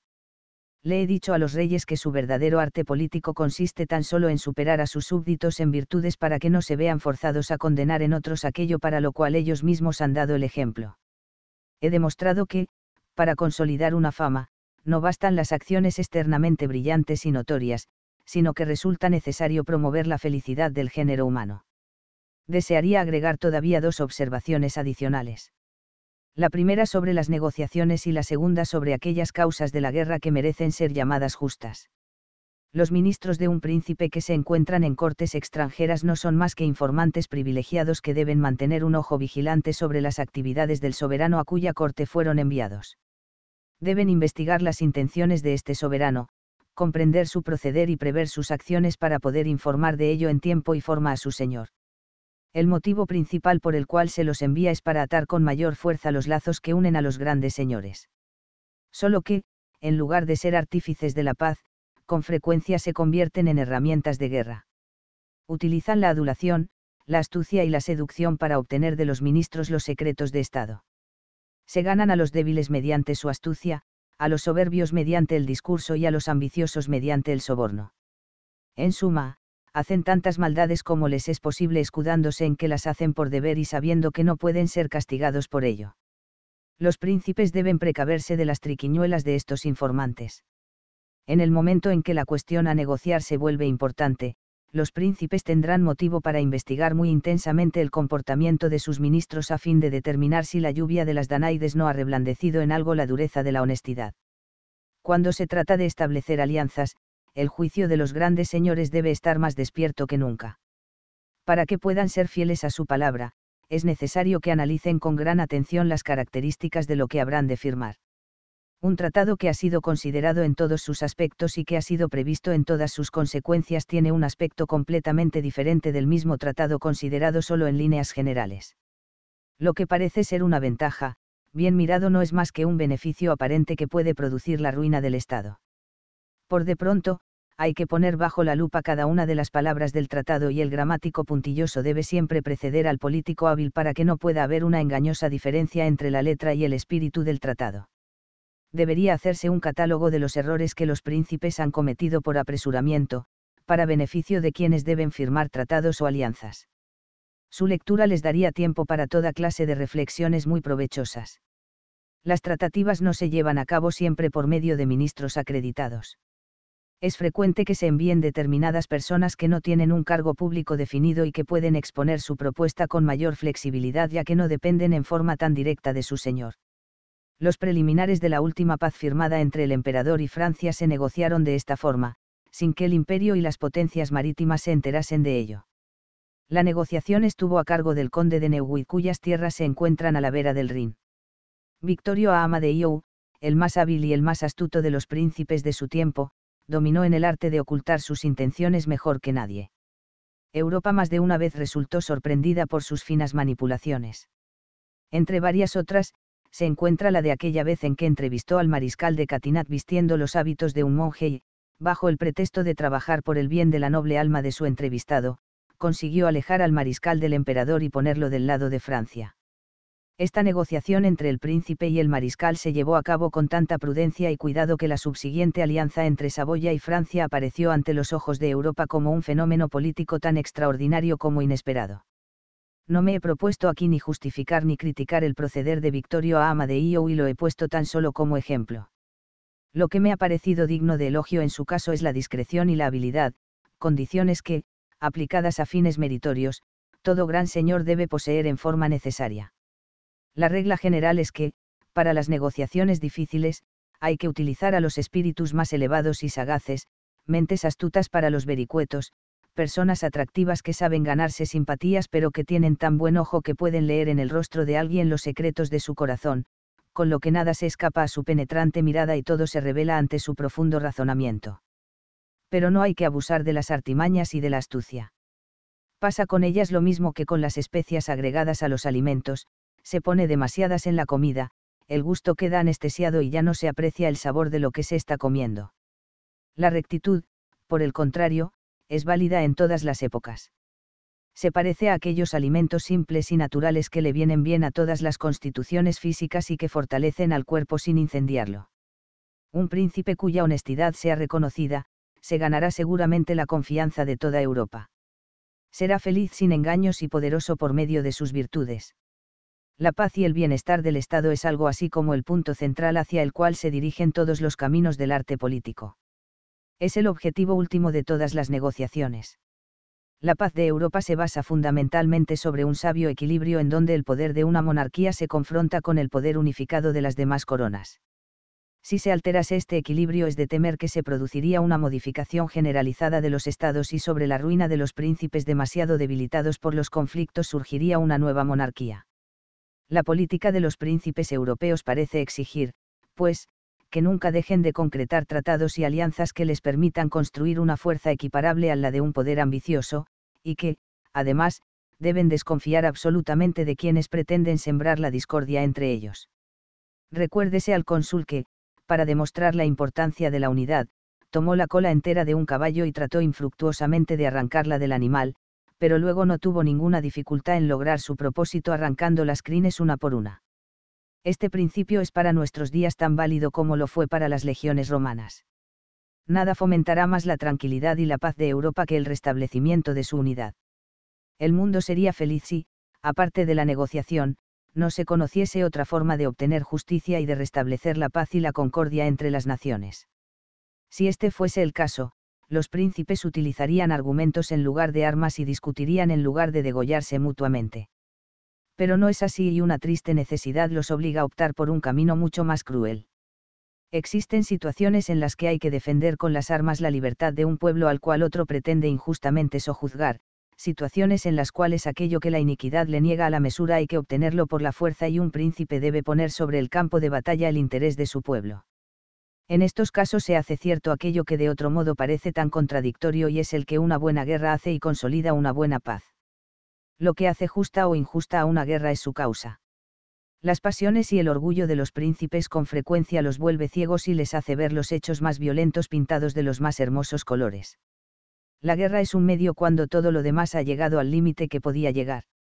Es por ello que se debe recurrir a él solo en casos extremos y con prudencia, verificando exactamente si se ha llegado a dicho extremo por un espejismo del orgullo o por causas válidas e inevitables. La guerra se libra para la defensa y, sin lugar a dudas, esta es la más justa de todas las guerras. La guerra se libra por primacía si a esto un rey se ve forzado cuando desea conservar un derecho que se le disputa conducirá su causa con la espada en la mano y el combate decidirá la validez de sus motivos. Existen guerras preventivas y un príncipe obrará sabiamente si decide librarlas. Se tratará, obviamente, de una guerra de agresión, pero aún así seguirá siendo justa. Cuando el hegemónico poder de un imperio amenaza con desbordarse y engullirse a todo el mundo, será sabio de parte del príncipe el construir diques para contenerlo y de frenar el torrente del río cuando todavía es controlable cuando se ve que se juntan las nubes y se avecina la tormenta, no es irracional prever la caída de un rayo. Y puesto que un señor expuesto a ese peligro no puede conjurar por sí mismo la tormenta, lo que hará si es inteligente será unirse a todos los que se hayan amenazados por el mismo riesgo. Si los reyes de Egipto, Siria y Macedonia se hubiesen unido contra el poder de Roma, jamás hubieran sido aniquilados. Una sabia alianza y una guerra iniciada con vigor hubiera impedido todo lo que los ambiciosos se propusieron, esclavizando con ello al mundo. La prudencia aconseja preferir el mal menor al mayor y elegir lo seguro antes que lo dudoso. Es por lo tanto mejor que un príncipe se decida a librar una guerra de agresión cuando todavía tiene la libertad de elegir entre el olivo y los laureles, y no que espere a que vengan tiempos peligrosos en los que una declaración de guerra podrá retardar su derrota y su esclavitud solo por poco tiempo.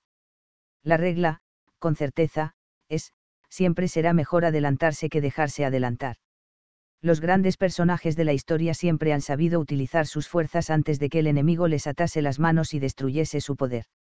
Los príncipes con frecuencia se ven arrastrados a las guerras de sus aliados, debiendo suministrarles cierta cantidad de fuerzas. Desde el momento en que un gran señor no puede prescindir de alianzas puesto que en Europa a nadie le es posible sostenerse exclusivamente con fuerzas propias, los príncipes se comprometen a socorrerse mutuamente en caso de necesidad y esto es algo que aporta mucho a su seguridad y a su sostén el resultado es el que decide cuál de las partes se llevará los frutos de la alianza. Una situación determinada podrá favorecer a uno, ciertas circunstancias en un momento distinto favorecerán al otro. La honestidad y el buen juicio exige, pues, de todos los príncipes sin distinción que cumplan en un todo con sus compromisos y que consideren sagrada a su palabra, tanto más porque las alianzas hacen que sea más efectiva la protección brindada por el príncipe a su propio pueblo de lo anterior se desprende que serán justas las guerras en las que solo se tiene la intención de rechazar una agresión arbitraria, o bien obtener derechos bien fundados, o bien asegurar la libertad del mundo y evitar tanto una violencia dictada por la ambición como una opresión. Un gran señor que emprenda alguna de estas guerras no deberá recriminarse de la sangre derramada.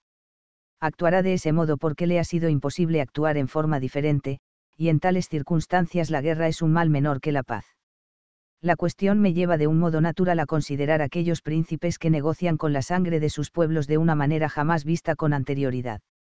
Su corte es como una casa de remates en la cual el pueblo se remata al mejor postor. Hace cierto tiempo, hubo algunos príncipes que no buscaban aliados, solo querían encontrar la forma de vender sus soldados tratando de comerciar con la sangre de sus súbditos. El soldado está para proteger a su patria. Cuando se lo vende como quien vende perros de caza, se atenta tanto contra el comercio como contra la guerra. Se dice que no está permitido comerciar con objetos sagrados. ¿Acaso hay algo más sagrado que la sangre de un ser humano? En lo que se refiere a las guerras de religión, cuando las mismas son internas casi siempre surgen por un mal juicio del príncipe. Por ejemplo, cuando apoya a una secta y reprime a la otra, cuando coarta demasiado la práctica de ciertas religiones públicas o la promueve en exceso, y especialmente cuando le otorga mayor peso a las quejas de uno de los partidos. Algo que no es sino una pequeña chispa si el Señor no se entromete, se convierte en un enorme incendio si el Señor la apaña. Si un gran Señor conduce con entusiasmo el gobierno civil, dejándole a cada cual su libertad de conciencia, si permanece siendo siempre un rey y jamás se convierte en sacerdote, tendrá siempre un medio seguro de preservar al estado de las tormentas que el espíritu intolerante de los teólogos con frecuencia tiende a provocar las guerras de religión entre estados son siempre improcedentes e injustas. Por cierto, que es muy extraña la empresa de ir con Carlomagno de Aakan a los sajones para convertirlos espada en mano, o armar una flota para proponerle al sultán de Egipto que se haga cristiano.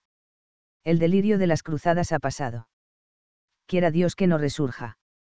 En absoluto, la guerra es tan pródiga en desgracias, su resultado es tan incierto, y sus consecuencias para un país son tan ruinosos que los príncipes no podrán meditar demasiado antes de embarcarse en ella. Las violencias que se cometen en un país enemigo ni se contabilizan entre las desgracias que suceden en las tierras del príncipe envuelto en una guerra. Estoy convencido de que los monarcas no se mostrarían insensibles si tuviesen una visión veraz y no distorsionada de todas las penurias que ocasiona una sola declaración de guerra su imaginación no es tan viva como para imaginar todas las desgracias que no les llegan porque lo impide su posición y terminan viéndolas como algo completamente natural. ¿Cómo podrían saber lo que se siente cuando se oprime al pueblo con pesadas cargas, cuando el país es drenado de su juventud con reiterados reclutamientos, cuando las enfermedades contagiosas diezman a los ejércitos, cuando la espada del enemigo y, peor aún, cuando los cañones de los sitiadores aniquilan a todo un ejército, cuando los heridos, después de perder los miembros que eran su única herramienta para trabajar y sostenerse, caen en la más tremenda de las miserias, cuando tantos huérfanos deben sufrir porque han perdido al padre que era el único sostén de su desamparo. ¿Qué hacer cuando el Estado ha perdido tantas personas valiosas que la muerte se ha llevado antes de tiempo? Los príncipes que consideran esclavos a sus súbditos los arriesgan sin misericordia y los pierden sin pesar alguno. En cambio, los príncipes que ven en las personas al semejante y en el pueblo el cuerpo cuya alma ellos mismos representan, son mucho más parcos con la sangre de sus súbditos. Concluyendo esta obra le pido a los monarcas que no se sientan ofendidos por la libertad con la que me he expresado. Mi intención es la de decir la verdad, promover la virtud y no adular a nadie. Tengo de los príncipes actualmente gobernantes una opinión lo suficientemente elevada como para considerarlos dignos de oír la verdad. Solo a un Nerón, a un Alejandro V, a un César Bourya, a un Luis XI no estaba permitido decírsela. Gracias a Dios que no encontramos personas como estas entre los príncipes europeos. No se les puede elogiar más que diciendo, delante de ellos se puede criticar libremente todo lo que deshonra la dignidad real y ofende a la justicia. Nota bibliográfica. La historia del anti-Maquiavelo. El anti-Maquiavelo de Federico II. El Grande de Prusia fue y en varios aspectos sigue siendo un libro polémico por muchas razones. Por de pronto, apareció publicado en medio de una controversia bastante fuerte relativa a su autenticidad, el mismo año de 1740 en que su autor resultaba coronado rey. El hecho es que el libro, contrariamente a lo que algunos podrían suponer, no fue escrito en alemán sino en francés el idioma culto por excelencia de la época y su primer editor ni siquiera fue Federico mismo sino Voltaire. Más aún, en las primeras dos ediciones de 1740 la obra ni siquiera se hallaba firmada por Federico y durante algún tiempo solo se hizo referencia a un cierto alto y honorabilísimo autor según la expresión de Voltaire en su carta a Jan van Duren del 15 de junio de 1740. ¿A qué se debió tanto misterio?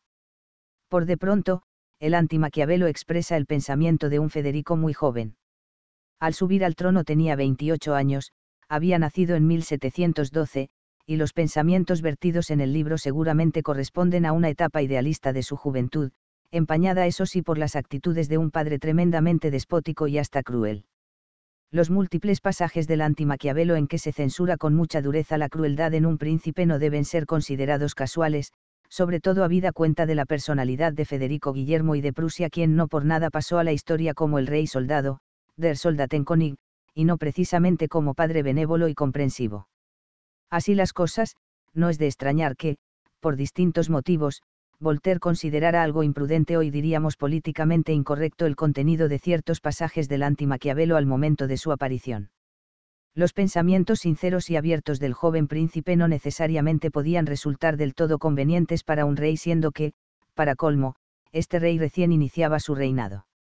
En consecuencia, el buen Voltaire se sintió en la obligación de escribir un prólogo y, según la versión más difundida, hizo más aún, corrigió unas cuantas partes de la obra quitando varios pasajes y reescribiendo algunos otros. No debe creerse que hizo un mal trabajo. Sea cual fuere la opinión que se tenga de Voltaire desde el punto de vista moral, no es necesario demostrar que era demasiado inteligente como para cometer chapucerías. En la presente traducción, la mayor parte de su aporte ha sido incorporado o, al menos tenido en cuenta, ya que, aun siendo muy estrictos, resultaría tremendamente exagerado decir que distorsionó la obra original. En algunos casos los cambios son simples palabras, probablemente más que nada por una cuestión de estilo, y, en otros, se trata de suavizaciones de pasajes que podrían haber herido la susceptibilidad de algunos contemporáneos con referencias demasiado directas o crudas a ciertos personajes y a determinados hechos. Con el criterio de hoy, la verdad es que lo hecho por Voltaire es más estético que conceptual. Aparte de ello, también hay que señalar que en última instancia y por lo que sabemos, la auténtica procedencia de las correcciones nunca quedó incuestionablemente aclarada. En realidad, no sabemos con certeza absoluta cuáles son de Federico y cuáles de Voltaire, en caso de que solo algunas sean de Voltaire no sabemos si Federico prestó o no su consentimiento, como que tampoco podríamos negar que, como algunos sostienen, todas son de Voltaire y Federico nunca prestó su acuerdo expreso a las mismas. Lo concreto es que, en 1740, Voltaire se hallaba en Bruselas y, habiendo recibido permiso de Federico para llevar adelante la edición del libro, tuvo un intercambio epistolar con el editor Jan van Duren de la Haya. El libro ya estaba siendo armado cuando, por medio de varias cartas, Voltaire advirtió a Van Duren que se precisaba hacer modificaciones al texto, ofreciéndole incluso resarcirlo de los mayores costos que ello podía significar. Hubo un bastante largo y complejo intercambio epistolar, con varias idas y venidas de manuscritos, hasta que por fin Van Duren, cansado de tanto trajín y aparentemente sin haber llegado a saber quién era en realidad el autor, publicó el libro hacia fines de septiembre de 1740, con el contenido armado sobre la base de los manuscritos originales, es decir, sin las modificaciones. Esta es la que se conoce como la primera edición de Van Duren, de la Haya. Casi simultáneamente apareció otra edición en Londres, también sin indicación del nombre del autor y posteriormente Voltaire le hizo imprimir a Van Duren una nueva edición esta vez con las modificaciones pagándola de su propio bolsillo. En resumen, la historia de las primeras ediciones del Anti-Maquiavelo es cronológicamente la siguiente. Las ediciones en francés. Anti-Machiavello ou examen du prince de Machiavel, avec des notes historiques et critiques 8. A con acento la GI, Siei Jan Van Duren, 1740. Londres, y Guillaume Mayer dans Lestrand. Estas dos ediciones se publicaron simultáneamente y son iguales, diferenciándose tan solo en el título. Muchos las consideran como las únicas auténticas. Anti-Machiavel, o USI de Critique sur le Prince de Machiavel. Publié par MR. De Voltaire 8. A con acento la GI. Esta es la edición de Voltaire con las correcciones y modificaciones. A la misma siguió casi inmediatamente una reimpresión en Ámsterdam. Y puesto que Voltaire, en su calidad de editor, aseguraba que estas eran las ediciones auténticas, siendo que las anteriores de Van Duren y de Mayer diferían en varias partes del manuscrito original, algunos se orientaron según sus indicaciones y se conoció otra edición. 5. Imprimé sur la edición original de L. Editeur 8. A Göttingen, Sieyabr. Van den. A la cual le siguió. A Copenhague, Auxiliary Depends de Jacques Proust todas del año 1740. Luego, de a poco y en algún momento se supo que el autor real había sido Federico II. Al año siguiente apareció una edición. Suivante la edición de M.R. De Voltaire ou primera ona hotel very Asians de Tsela de Londres 8. Amsterdam, Si Jacques Laqueis, 1741. Esta es, entre todas, considerada como la más correcta. Es la que fue utilizada para la traducción alemana, al igual que las que se mencionan a continuación. Examen du Prince de Machiavel etc. Troisième edition, Enrichi les plusieurs species nouvelles et originales la plupart fournies par M.F. de Voltaire, a la Geis y Van Duren, 1741, 2 tomes 8. Avec privilege de SM Imp. En la primera parte de esta versión se encuentra, entre otras cosas, un prólogo en el cual se informa que el ilustre autor se pronunció contra las modificaciones de Voltaire aún antes de las primeras ediciones.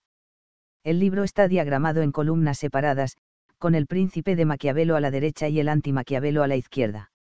Las notas de Amelot al príncipe aparecen inmediatamente debajo y luego, en líneas no interrumpidas, está la totalidad de las modificaciones de Voltaire. La primera parte contiene los primeros 16 capítulos mientras que la segunda trae los restantes junto con los prometidos anexos que demuestran la autenticidad de la edición, así como la de las dos primeras, en contra de Voltaire. Por lo demás, esta edición se volvió a imprimir en a Leipzig, Siearkste y Mercus 1742 y en a la GI, Auxiliary Depends de la Company, 2. Tomes GR. 12743 las ediciones en otros idiomas. La traducción alemana apareció en Göttingen, en 1741 y se orientó según la edición francesa. Al año siguiente fue editada en el mismo lugar otra vez, pero siguiendo en un todo a la edición en grados 8 excepto que se omitieron, el prólogo de Voltaire, las observaciones preliminares de Van Duren y los demás anexos. En noviembre de 1740 se anunció una traducción inglesa en la revista Nouvelle Bibliothèque y allí mismo también una traducción italiana. El prof. Koloff de Frankfurt a Moudar comenzó una traducción al latín, pero falleció antes de terminarla. La versión en latín, de un traductor desconocido, apareció en 1743. En 1745 apareció Anti-Machiavel Udar versus Eine Kritik Wernick. Machiavels Regierungskunst Einsfursten. Frankfurt-Leipzig, 1745. Esta versión contiene tanto el historial del libro como las referencias completas a todas las ediciones anteriores, incluyendo las modificaciones de Voltaire y las aclaraciones en notas al pie de página. Esta es la edición que ha servido para la presente traducción al español. Observación final. Quienes deseen consultar el texto alemán utilizado para esta traducción pueden hallarlo en reproducción facsimilar en http emoticono cara de disgusto barra www.vuni. Bielefeld de barra Diglip barra Friedrich barra Antimac barra. La que decididamente no recomendamos es la versión inglesa Haliaval en http 2 barra barra 3 barra Daniel Macrian barra que contiene gruesos errores de traducción y se desvía sustancialmente de todos los textos mencionados. Audiolibro cortesía de la comunidad de audio lectores Filosofía y Letras. Búscanos en el canal de YouTube El Mundo de Arturo Garcés.